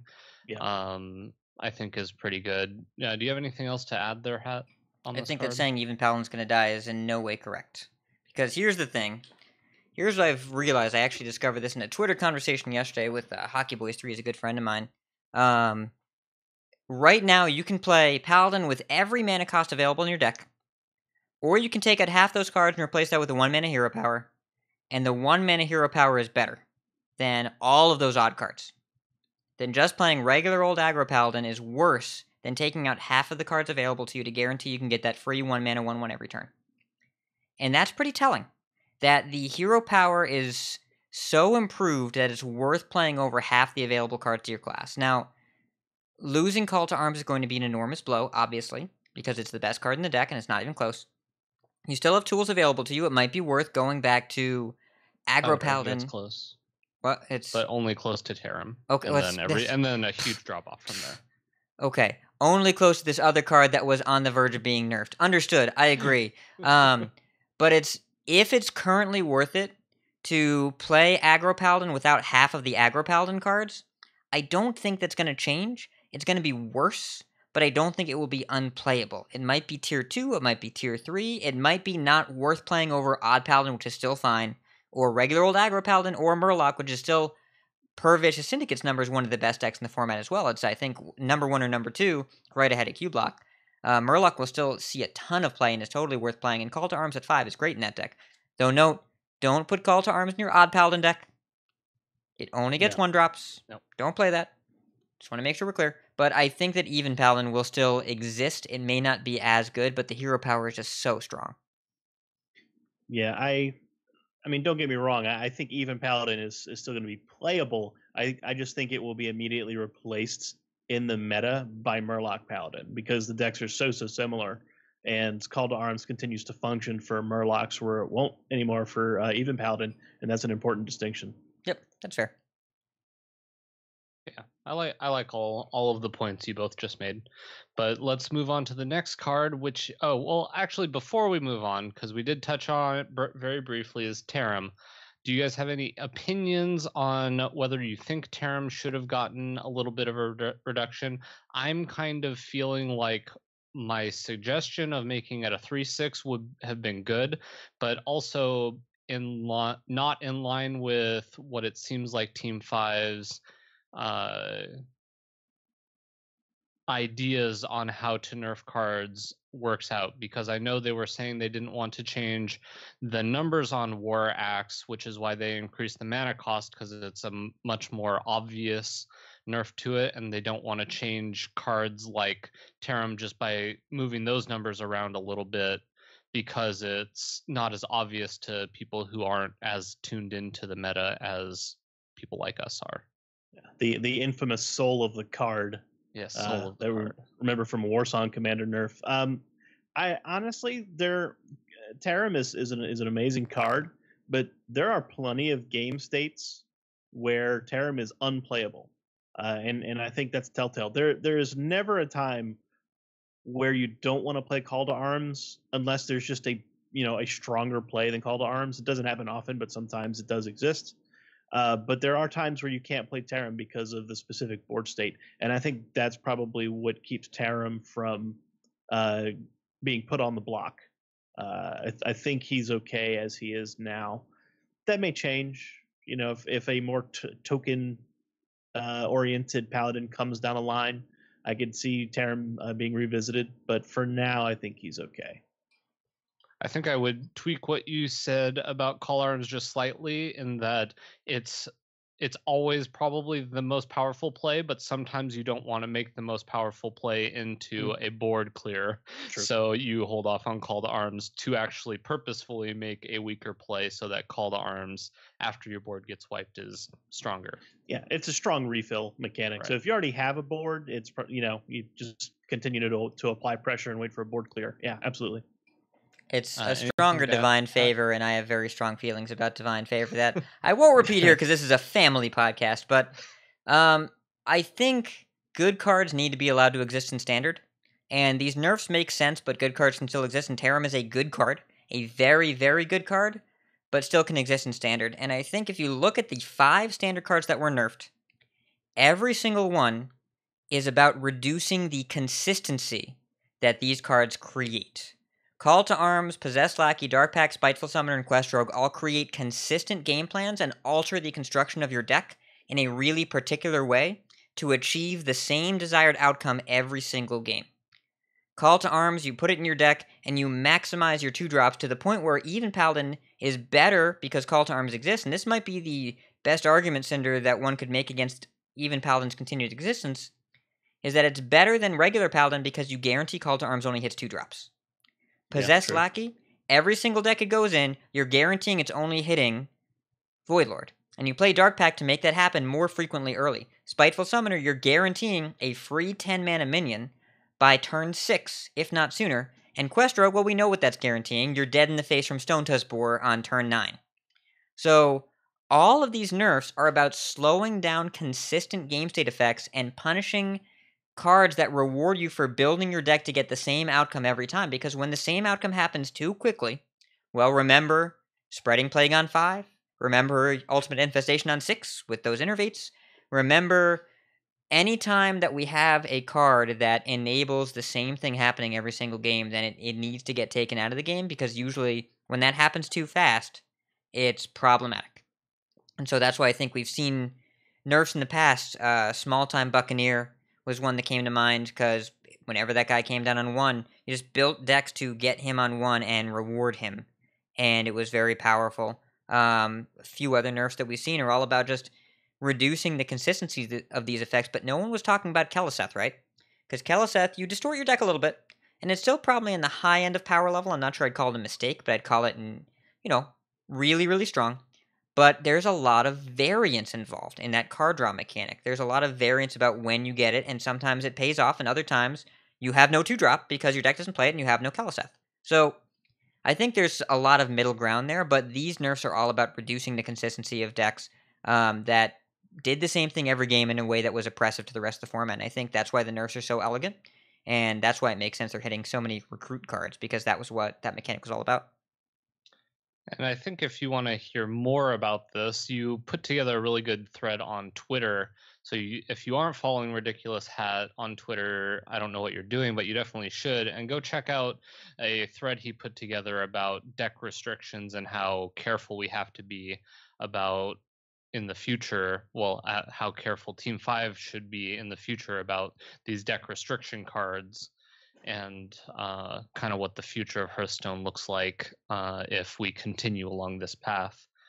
Um, but Cinder, I wanted to I wanted to ask you about possessed lackey going from Mm. five to six mana. I know that Hat just kind of covered a, a lot of these cards, um, but what what do you think about Cubelock going forward, or just control lock and possessed lackey decks in general? Do you think this is enough of a change to to affect uh, its meta representation going forward?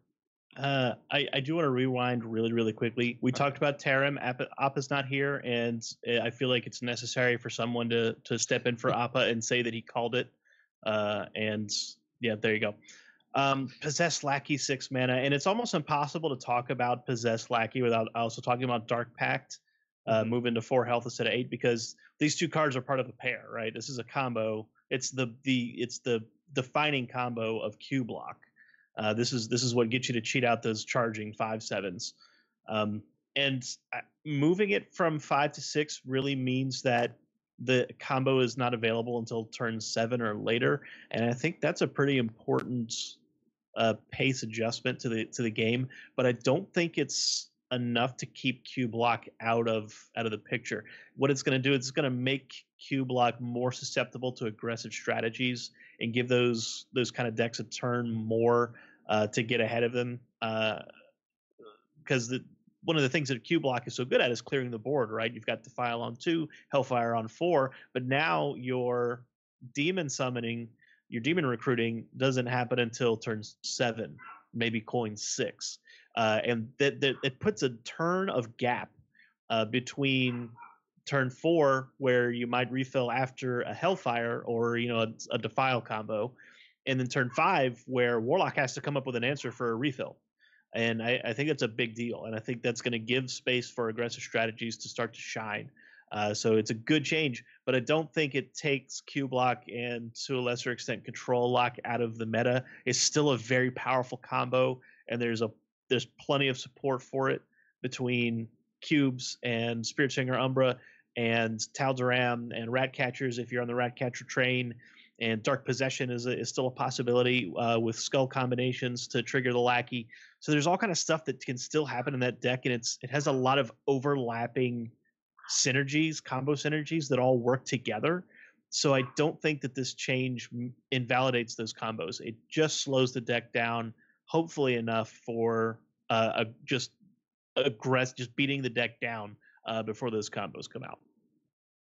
Yeah, I think those are all all really good points. And the addition, in addition, I was just act, this just came to me. I think this actually is a pretty big nerf to mountain giant in the warlock decks Mm. because one of the big things with dark pact restoring 8 health is that it felt like you could there were a lot of situations where you could just kind of with reckless abandon tap on 2 and 3 and Yeah. not really have to worry about taking that life total damage because you're going to recoup it all back with the dark pact so dark pact going from eight health down to four means that maybe it's not as reliable to be able to do the do the tapping on turn two and three and we might see an uptick in the more controlling version of of the deck that's trying to play like Stonehill, Defender, and and Tar Creepers maybe on turn three um, to kind of prevent as much life loss in the early game. I don't know if that I, I think that make or uh, it makes sense to me. It also um in the sense that it's also makes your mage matchup even worse because it felt like the only way you ever won against the aggressive mage decks is by actually getting a dark pact to not get counterspelled. Um, so I think it kind of reduces its matchups that it already wasn't great against, but still maintains uh, a lot of the power that it had, obviously. So it'll be interesting to see. I know Hat, you you said you were learning some Cubelock, and by the by the gist of what you were saying earlier, it didn't seem like you were thinking this would still be as much of a thing going forward. How do you think this really affects it? So you can still play what the deck is trying to do, but the deck was already somewhat vulnerable to early strategies. Something I learned by playing Cubelock instead of losing to Cubelock is that it's very easy to lose while playing as Cubelock. It is very, very easy to lose with it. It doesn't just go off every time. And you really have to work on building these these combo friendly board states and then iterating them, but it doesn't always just happen like half of the time that I played the skull, it got oozed, if not more. Bot was actually telling me on stream against Paladin, you don't even keep skull anymore because it just dies. So Mhm. If we're not going to have Lackey around until turn six, and I still expect to see a heavy silence meta, I don't know if the deck can survive in an aggro heavy field as built. I do think that Control Warlock makes a lot more sense, the long term game plan. And you can still play Skull. And maybe you even fit in some of these cube pieces, but it has to be Control Warlock with a couple combo pieces grafted on, as opposed to a full on combo deck like it is now, because right now the volume of life gain you have is really, really crazy. And cutting the dark pacts in half and reducing the eight possible total life gain you're going to get over the course of the entire game and slowing down that Voidlord, I think makes it very easy for a lot of aggressive decks just to push you over in a way that you were less vulnerable to before. And one thing this really helps Paladin is that weapons are so much more likely to connect now. And an extra couple weapon hits, that's a lot of damage. If it's Truesilver or Val'anyr, that's an extra 8 damage you weren't taking before because there was a Void Daddy in the way. So I I think there's something to be said for Control Warlock still existing. I think Lackey will probably still see play because it's still a tutor and a mana cheat. But I'm not sure that Cubelock in its current form is going to survive as we know it. There will probably still be some kind of Doomguardy combo y sort of thing, but it's going to need to change and grow and evolve in order to stay relevant. And boy, that Tempo Mage matchup is going to be rough. Yeah. It's going to suck. I mean, a lot of the warlocks were already starting to play Shroom Brewer. I think largely due to the Mind Blast priest becoming more popular and just getting like geisted. But e- even still, like they're already looking for more life gain, so taking away a bit, uh, quite a bit of of their life gain is, uh, I think you're gonna feel it a lot. Um, let's get into the next card, Spiteful Summoner, six mana to seven mana.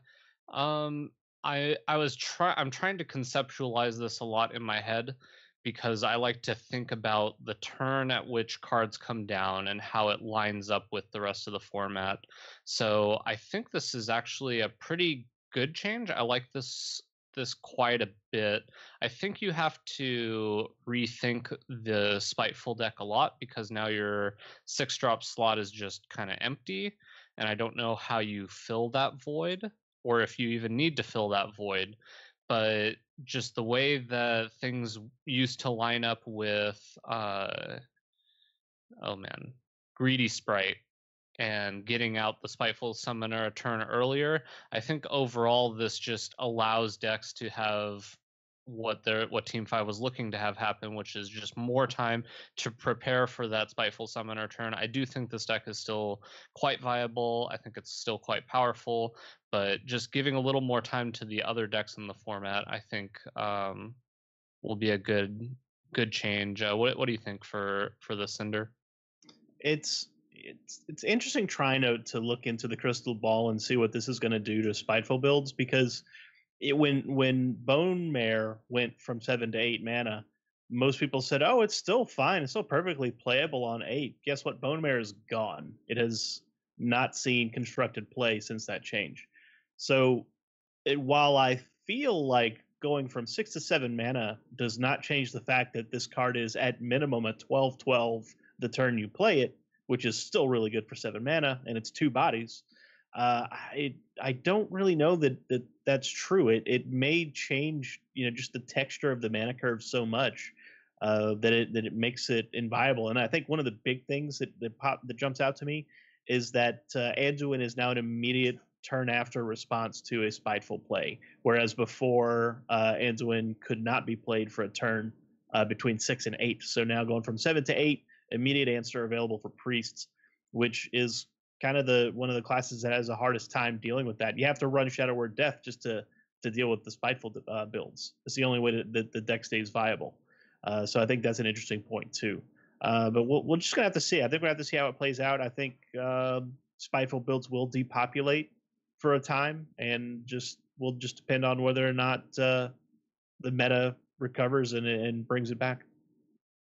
I mean, if you look at what Hat was saying earlier about APAC, is that there's a lot of Spiteful Summoner, and Mhm. everybody's only bringing Spiteful Summoner. So maybe this gives an opportunity for a different Druid deck to uh, to take its place. Uh, what what do you think, Hat?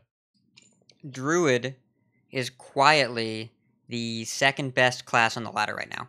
It is better than Warlock in terms of pure win rate. And part of that is spiteful, a big part. But if we look at the other nerfs that are coming, one of the big winners is the Druid class because Togwaggle Druid, don't sleep on it, it's an actual deck. Taunt Druid, actual deck, pretty good. I know it didn't have much tournament performance lately, but I it's still a perfectly relevant archetype and spiteful kind of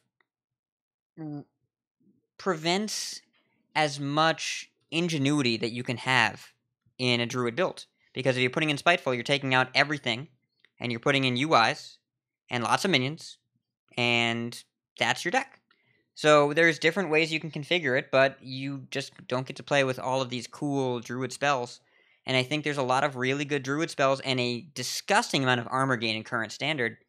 When I was playing Taunt Druid to Legend, what I noticed against Tempo Mage that they could never keep up with the volume of armor I was generating, and Control Warlock couldn't keep up with the amount of value I was generating, even when they rinned me, because they would go, they would play Azari, and then I would play four more Hadronoxes. Like, I don't care if you destroy my deck, I have everything I need to beat you. So, mm-hmm. I think Druid will be a big winner, but I think it will be at the expense of Spiteful Druid. I think the deck will still exist and none of these nerfs seem to be completely class eliminating or deck eliminating, at least so far at first blush, but they might be. Because one mana nerfs Call of the Wild, that nerf for one mana eliminated Hunter as a class. Hunter just went away for a while because Call of the Wild was holding it together. And seven mana is dangerously close to the mana cost where you would just rather play the minion as opposed to play a card that gets the minion and compromise everything in your deck. And the fact that that's a close choice, I think, is better for the game, but obviously worse for the Spiteful archetype. And you're playing into the Twisting Nether turn, the Lord Godfrey turn, the Psychic Scream turn, and the Anduin turn. A lot of the turns you're playing into, or you, you're even playing into Hero Power Terum. There's so many different turns that you play into now that you didn't before when you were just a little bit faster, that it's much more vulnerable and much less oppressive when it happens on time. And that means the nerf absolutely needed to happen. And if the card was only being played because it was oppressive on time, then I think that the card goes away. But Spiteful, we saw a bunch of Spitefuls on turn 8 and turn 9, and they were fine. The second Spiteful is still good. And what I think this will do is just make Spiteful Druid a lot more fair because it was pretty busted when you were curving Spiteful into Malfurion into Grand Archivist, and now you can't make that same curve anymore. Yep. Totally agree. So the last uh, little nerf here is Quest Rogue. Your minions are no longer going to be five fives, they will be four fours. This was actually the change that I proposed back when it was still only four minions to complete the quest. Uh, I think if you really take time and think about all of think about the format and how the um, the big decks that this that Quest Rogue preys on can can combat it. It's actually a huge change. Like just the way that a four four lines up in the format uh, versus the minions is just a huge deal. Like if you look at Voidlord, now you have to attack a Voidlord three times, and your minions only have one health left, which those Voidwalkers that get left over are ripe to trade into. Hellfire Defile now clears it instead of essentially doing nothing. Um, Flamestrike now can clear a board of four fours.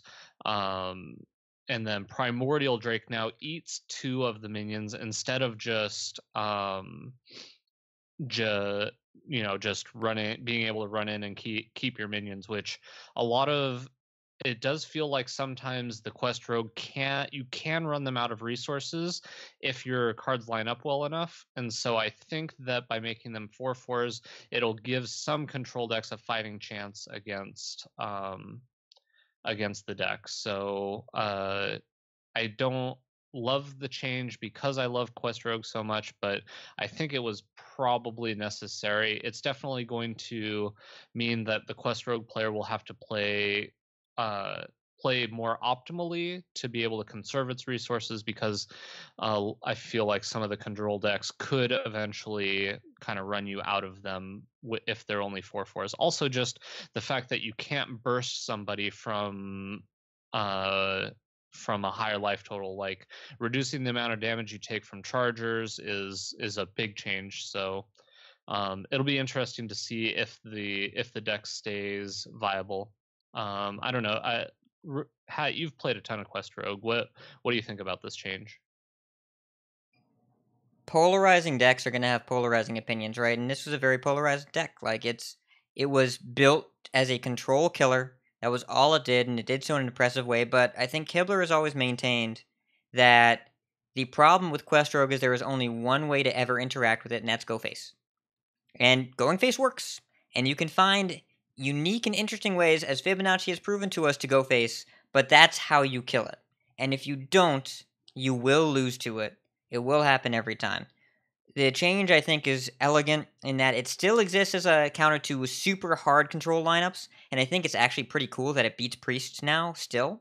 Like, it doesn't get worse against Priest because Anduin no longer wipes the board, but needing eight chargers instead of six to kill someone, I think is just a better gameplay experience. You're so much less likely to die from 30 in one turn, and that was always super frustrating to experience.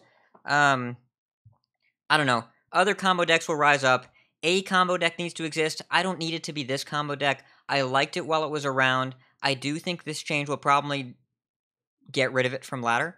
We might see it in the most specific of tournament lineups, but I don't foresee this archetype surviving on the ladder as it stands because it was already so unfavored against aggro, and now against control, it's it doesn't punch through a primordial drake without two minions dying. It's there's too many ways to slow it down. Tar Creeper is too good against it.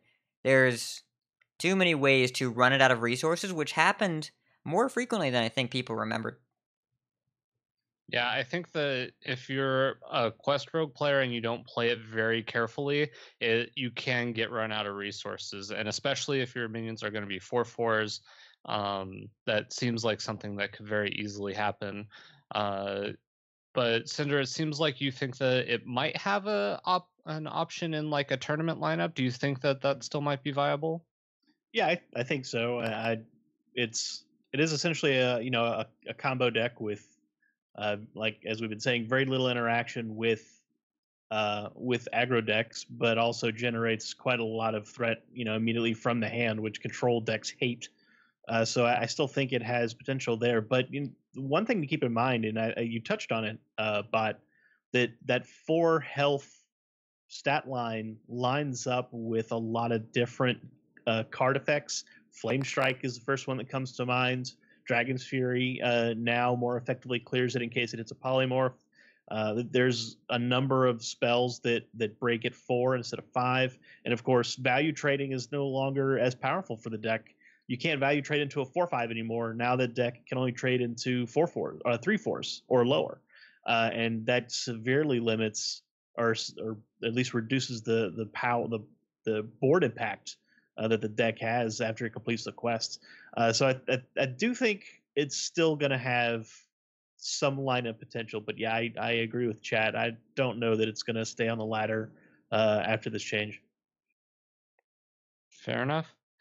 Well, I think that's uh, all I had. That's all I had for uh, for the nerfs. I will be interested to see how this affects tournament lineups. I'm going to have to start prepping a Last Hero Standing lineup um, for DreamHack Austin coming up. So it'll be it'll be a, a crazy new world Yeah, with uh, with these new decks. So I'm gonna have to think of uh, of how to best approach this this new format since it's going to be so fresh.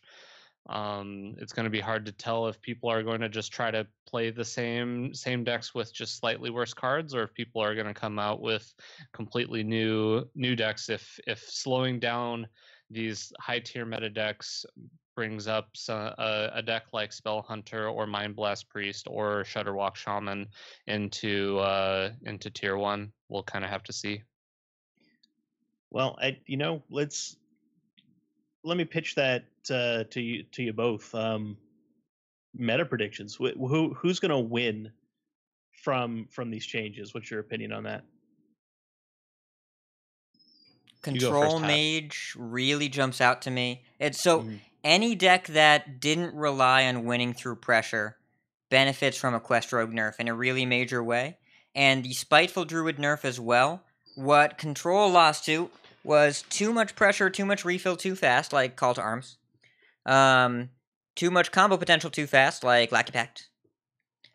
Too much pressure over time, like too many minions. Now, the Spiteful nerf doesn't reduce the total volume of minions, but it, it reduces the pace, so there's more setup time, so that maybe the big spell mage can save that blizzard a little longer.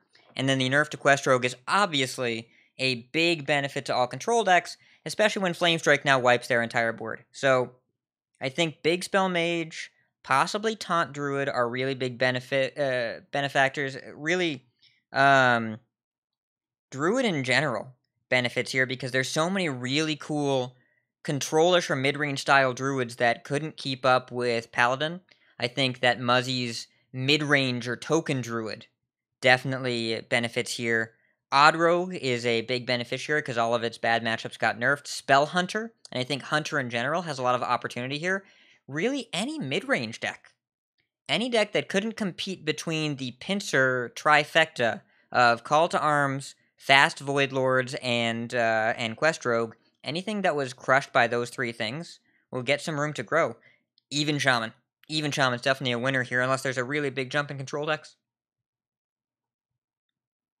Uh, I'm just gonna say Shudderwock Shaman, my version of it, because that's I want it to be good. And I think a lot of people's first uh, impression was Mind Blast Priest gets a lot better, and I really like my matchup against Mind Blast Priest, so that's what I'm going with.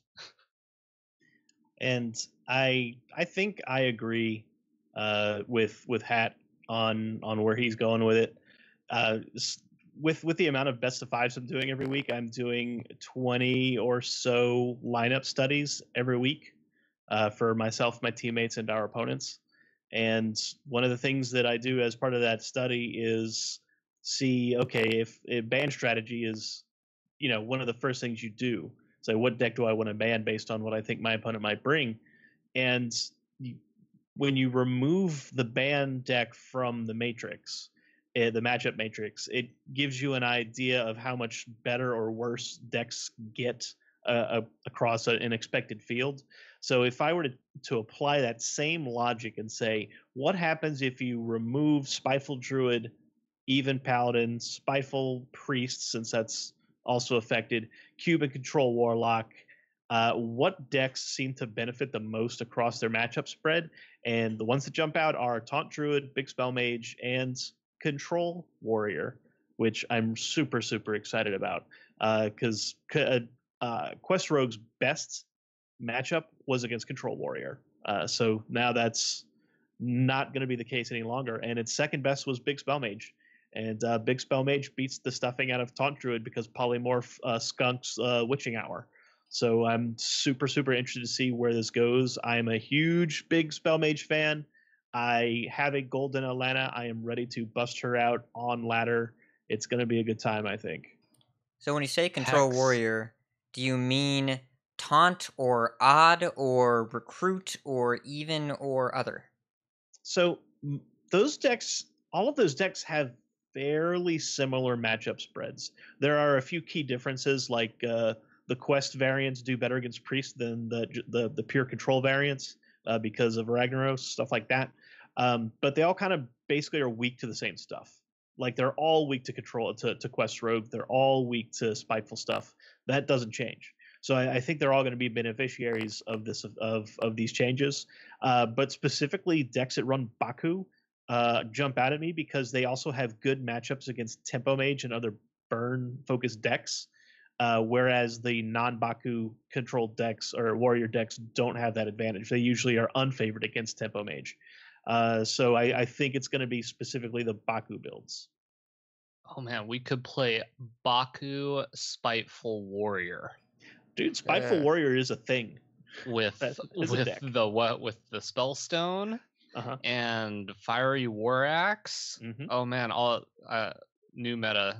Yeah, don't put brawl in there. Brawl's not good. Who would want to brawl aboard? I can't imagine. Yeah, It's, hmm.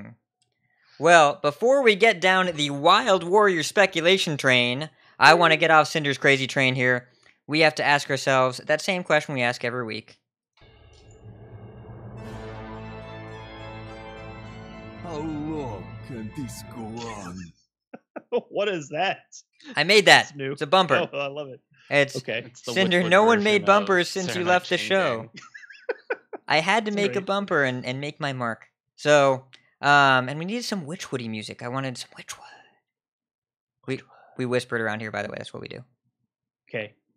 Um, so big thanks to Stefan L for letting us use his cover. Check him out on his channel, link in our show notes. Big thanks to Hearthstone Top Decks and BeerBrick.com for deck lists. Hearthstone tournaments on YouTube for tournament VODs. Wicked Good and Old Guardian for the tournament analysis. Show notes for this week's episode are on our website, coinconcede.com. You can monetarily support our show at patreon.com slash coinconcede. Join us every week live by following us on Twitch at twitch.tv slash coinconcede podcast.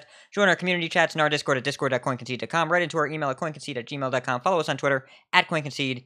And if you would like some CC swag, head on over to our shop at shop.coinconcede.com.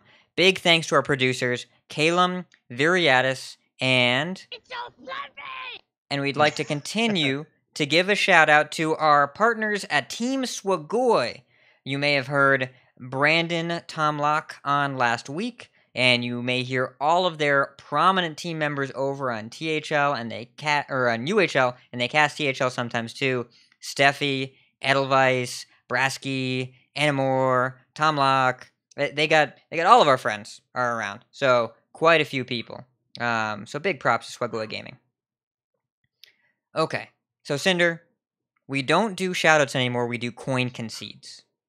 Okay. So who would you like to coin concede to this week?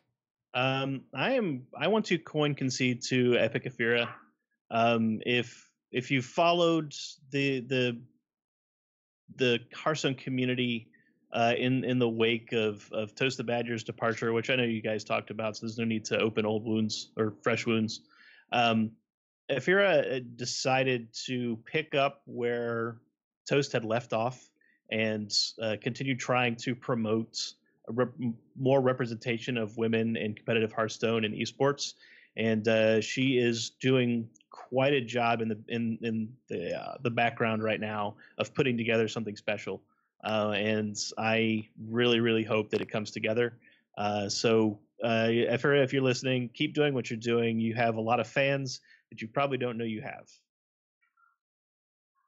That's well said. Thank you, Cinder. Nice coin You're concede. welcome. Botticus, who are you coin conceding to? Speaking of women who are also filling in in UHL, I'm going to shout out Pair HS. Today, I, Cinder was the one who directed me to her stream right when she had just started streaming Hearthstone, and I was a fan instantly. And she is now a part of UHL and just played her first match today. I did not get to see the outcome of it, but I'm just really happy that she's now going to be a part of UHL um, going forward. So, coin concede to pair. Make sure you check out her stream. It's pretty awesome. Mm-hmm. Big fan. Yeah, it's uh Cinder actually recommended her to I think our our show originally we shouted her out a long time ago and then her stream quality's gone way up as well. She's uh got a lot of really cool stuff set up. I want a green screen like she has because Yeah. it's nice to have a green screen. Um I'd like to She shout also out just got signed to a team thing. I, Yes. Two, I think. Yes, Gravity right. Gaming, I think. Yeah, she's going to be a streamer content producer. That's great news. Yes. You know what? I'm gonna I'm gonna give her a Yay! Hooray. All right, I have a few coin concedes this week. First of all, mid game, as always, we're running the listener league. That guy works like crazy, Mhm. and he's really good at it. And I really enjoyed this past Sunday when he's like, "Pairings will be up a little late today. I'm really hungover." It's like, you know what? Respect for the honesty. um, I'd like to give a shout out to my THL team, the Pod People, who I have been a part of now for five seasons, or this is the fifth season under this name, the sixth if you include Team 1600 Dust. Um, and uh, we won our last week pretty convincingly against the Dad Legend Boys, who are also excellent people, friends of the show. But uh, shout out to the Pod People, sometimes referred to as the Poo People, and they include a bunch of podcasters. That's where we get the name. So, hype. And then I'd like to give a shout out to everyone that heard Laurel and not Yanni. What if I heard I, both? I heard Laurel. It's if you heard both, it's come on, pick a side. Well, I start like so. My roo- I said this in Discord, but my roommate played it for me very, very clearly. Heard Laurel and he heard Yanni, and then my wife came home and played me a video, and it, I heard Yanni, and then she played like three more, which I heard Yanni. But then I pulled it up on my phone and I heard Laurel again. So I don't know. I can't pick a side. The dress is blue and white, not black and gold. Damn it. Wait, Wait, it's no, wait, it was Or- or blue and something. black. Blue and Blue and Blue black, and black. instead of white and gold. yes, blue and black I and Laurel are objectively correct. but but also blue and black was the actual color of the dress. And I read the article today, whereas this sound was sampled from the dictionary.com version uh, or pronunciation of the word laurel. But Okay, it what does was laurel mean. Laurel like a like a leaf crown. Yeah. Okay. Yep. But then it was recorded back on speakers and played back and recorded again, and that introduced some distortion. And there's actually a tool on the New York Times website where you can slide it uh, to different frequency distortions, different pitches, and it helps you determine where you hear Yanni and where you hear Laurel. And then you can click the button that says where you hear the one that switches, and uh, and it helps them collect data.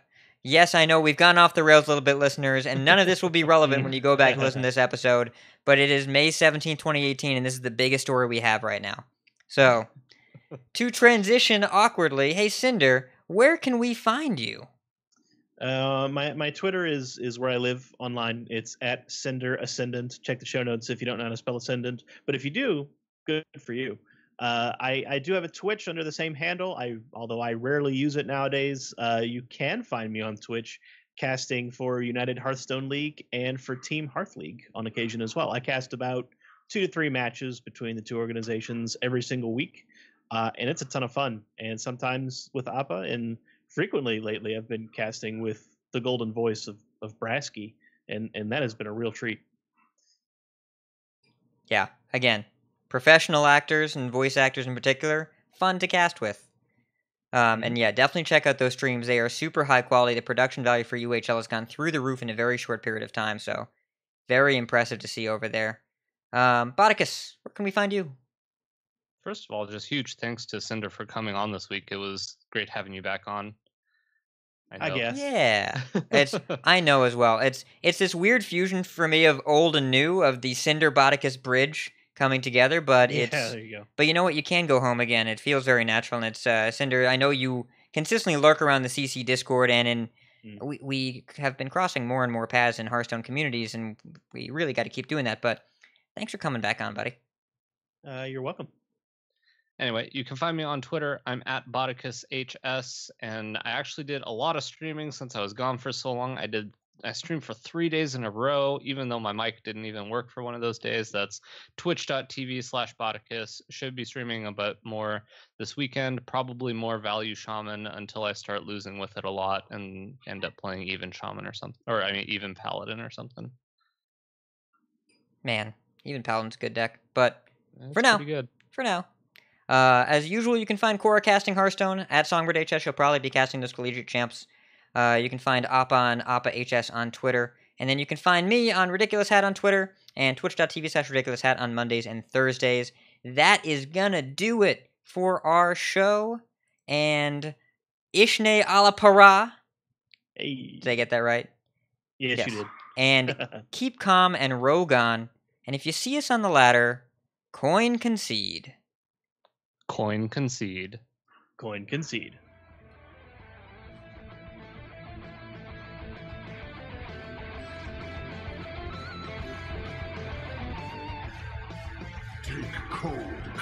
Comfort in your victory.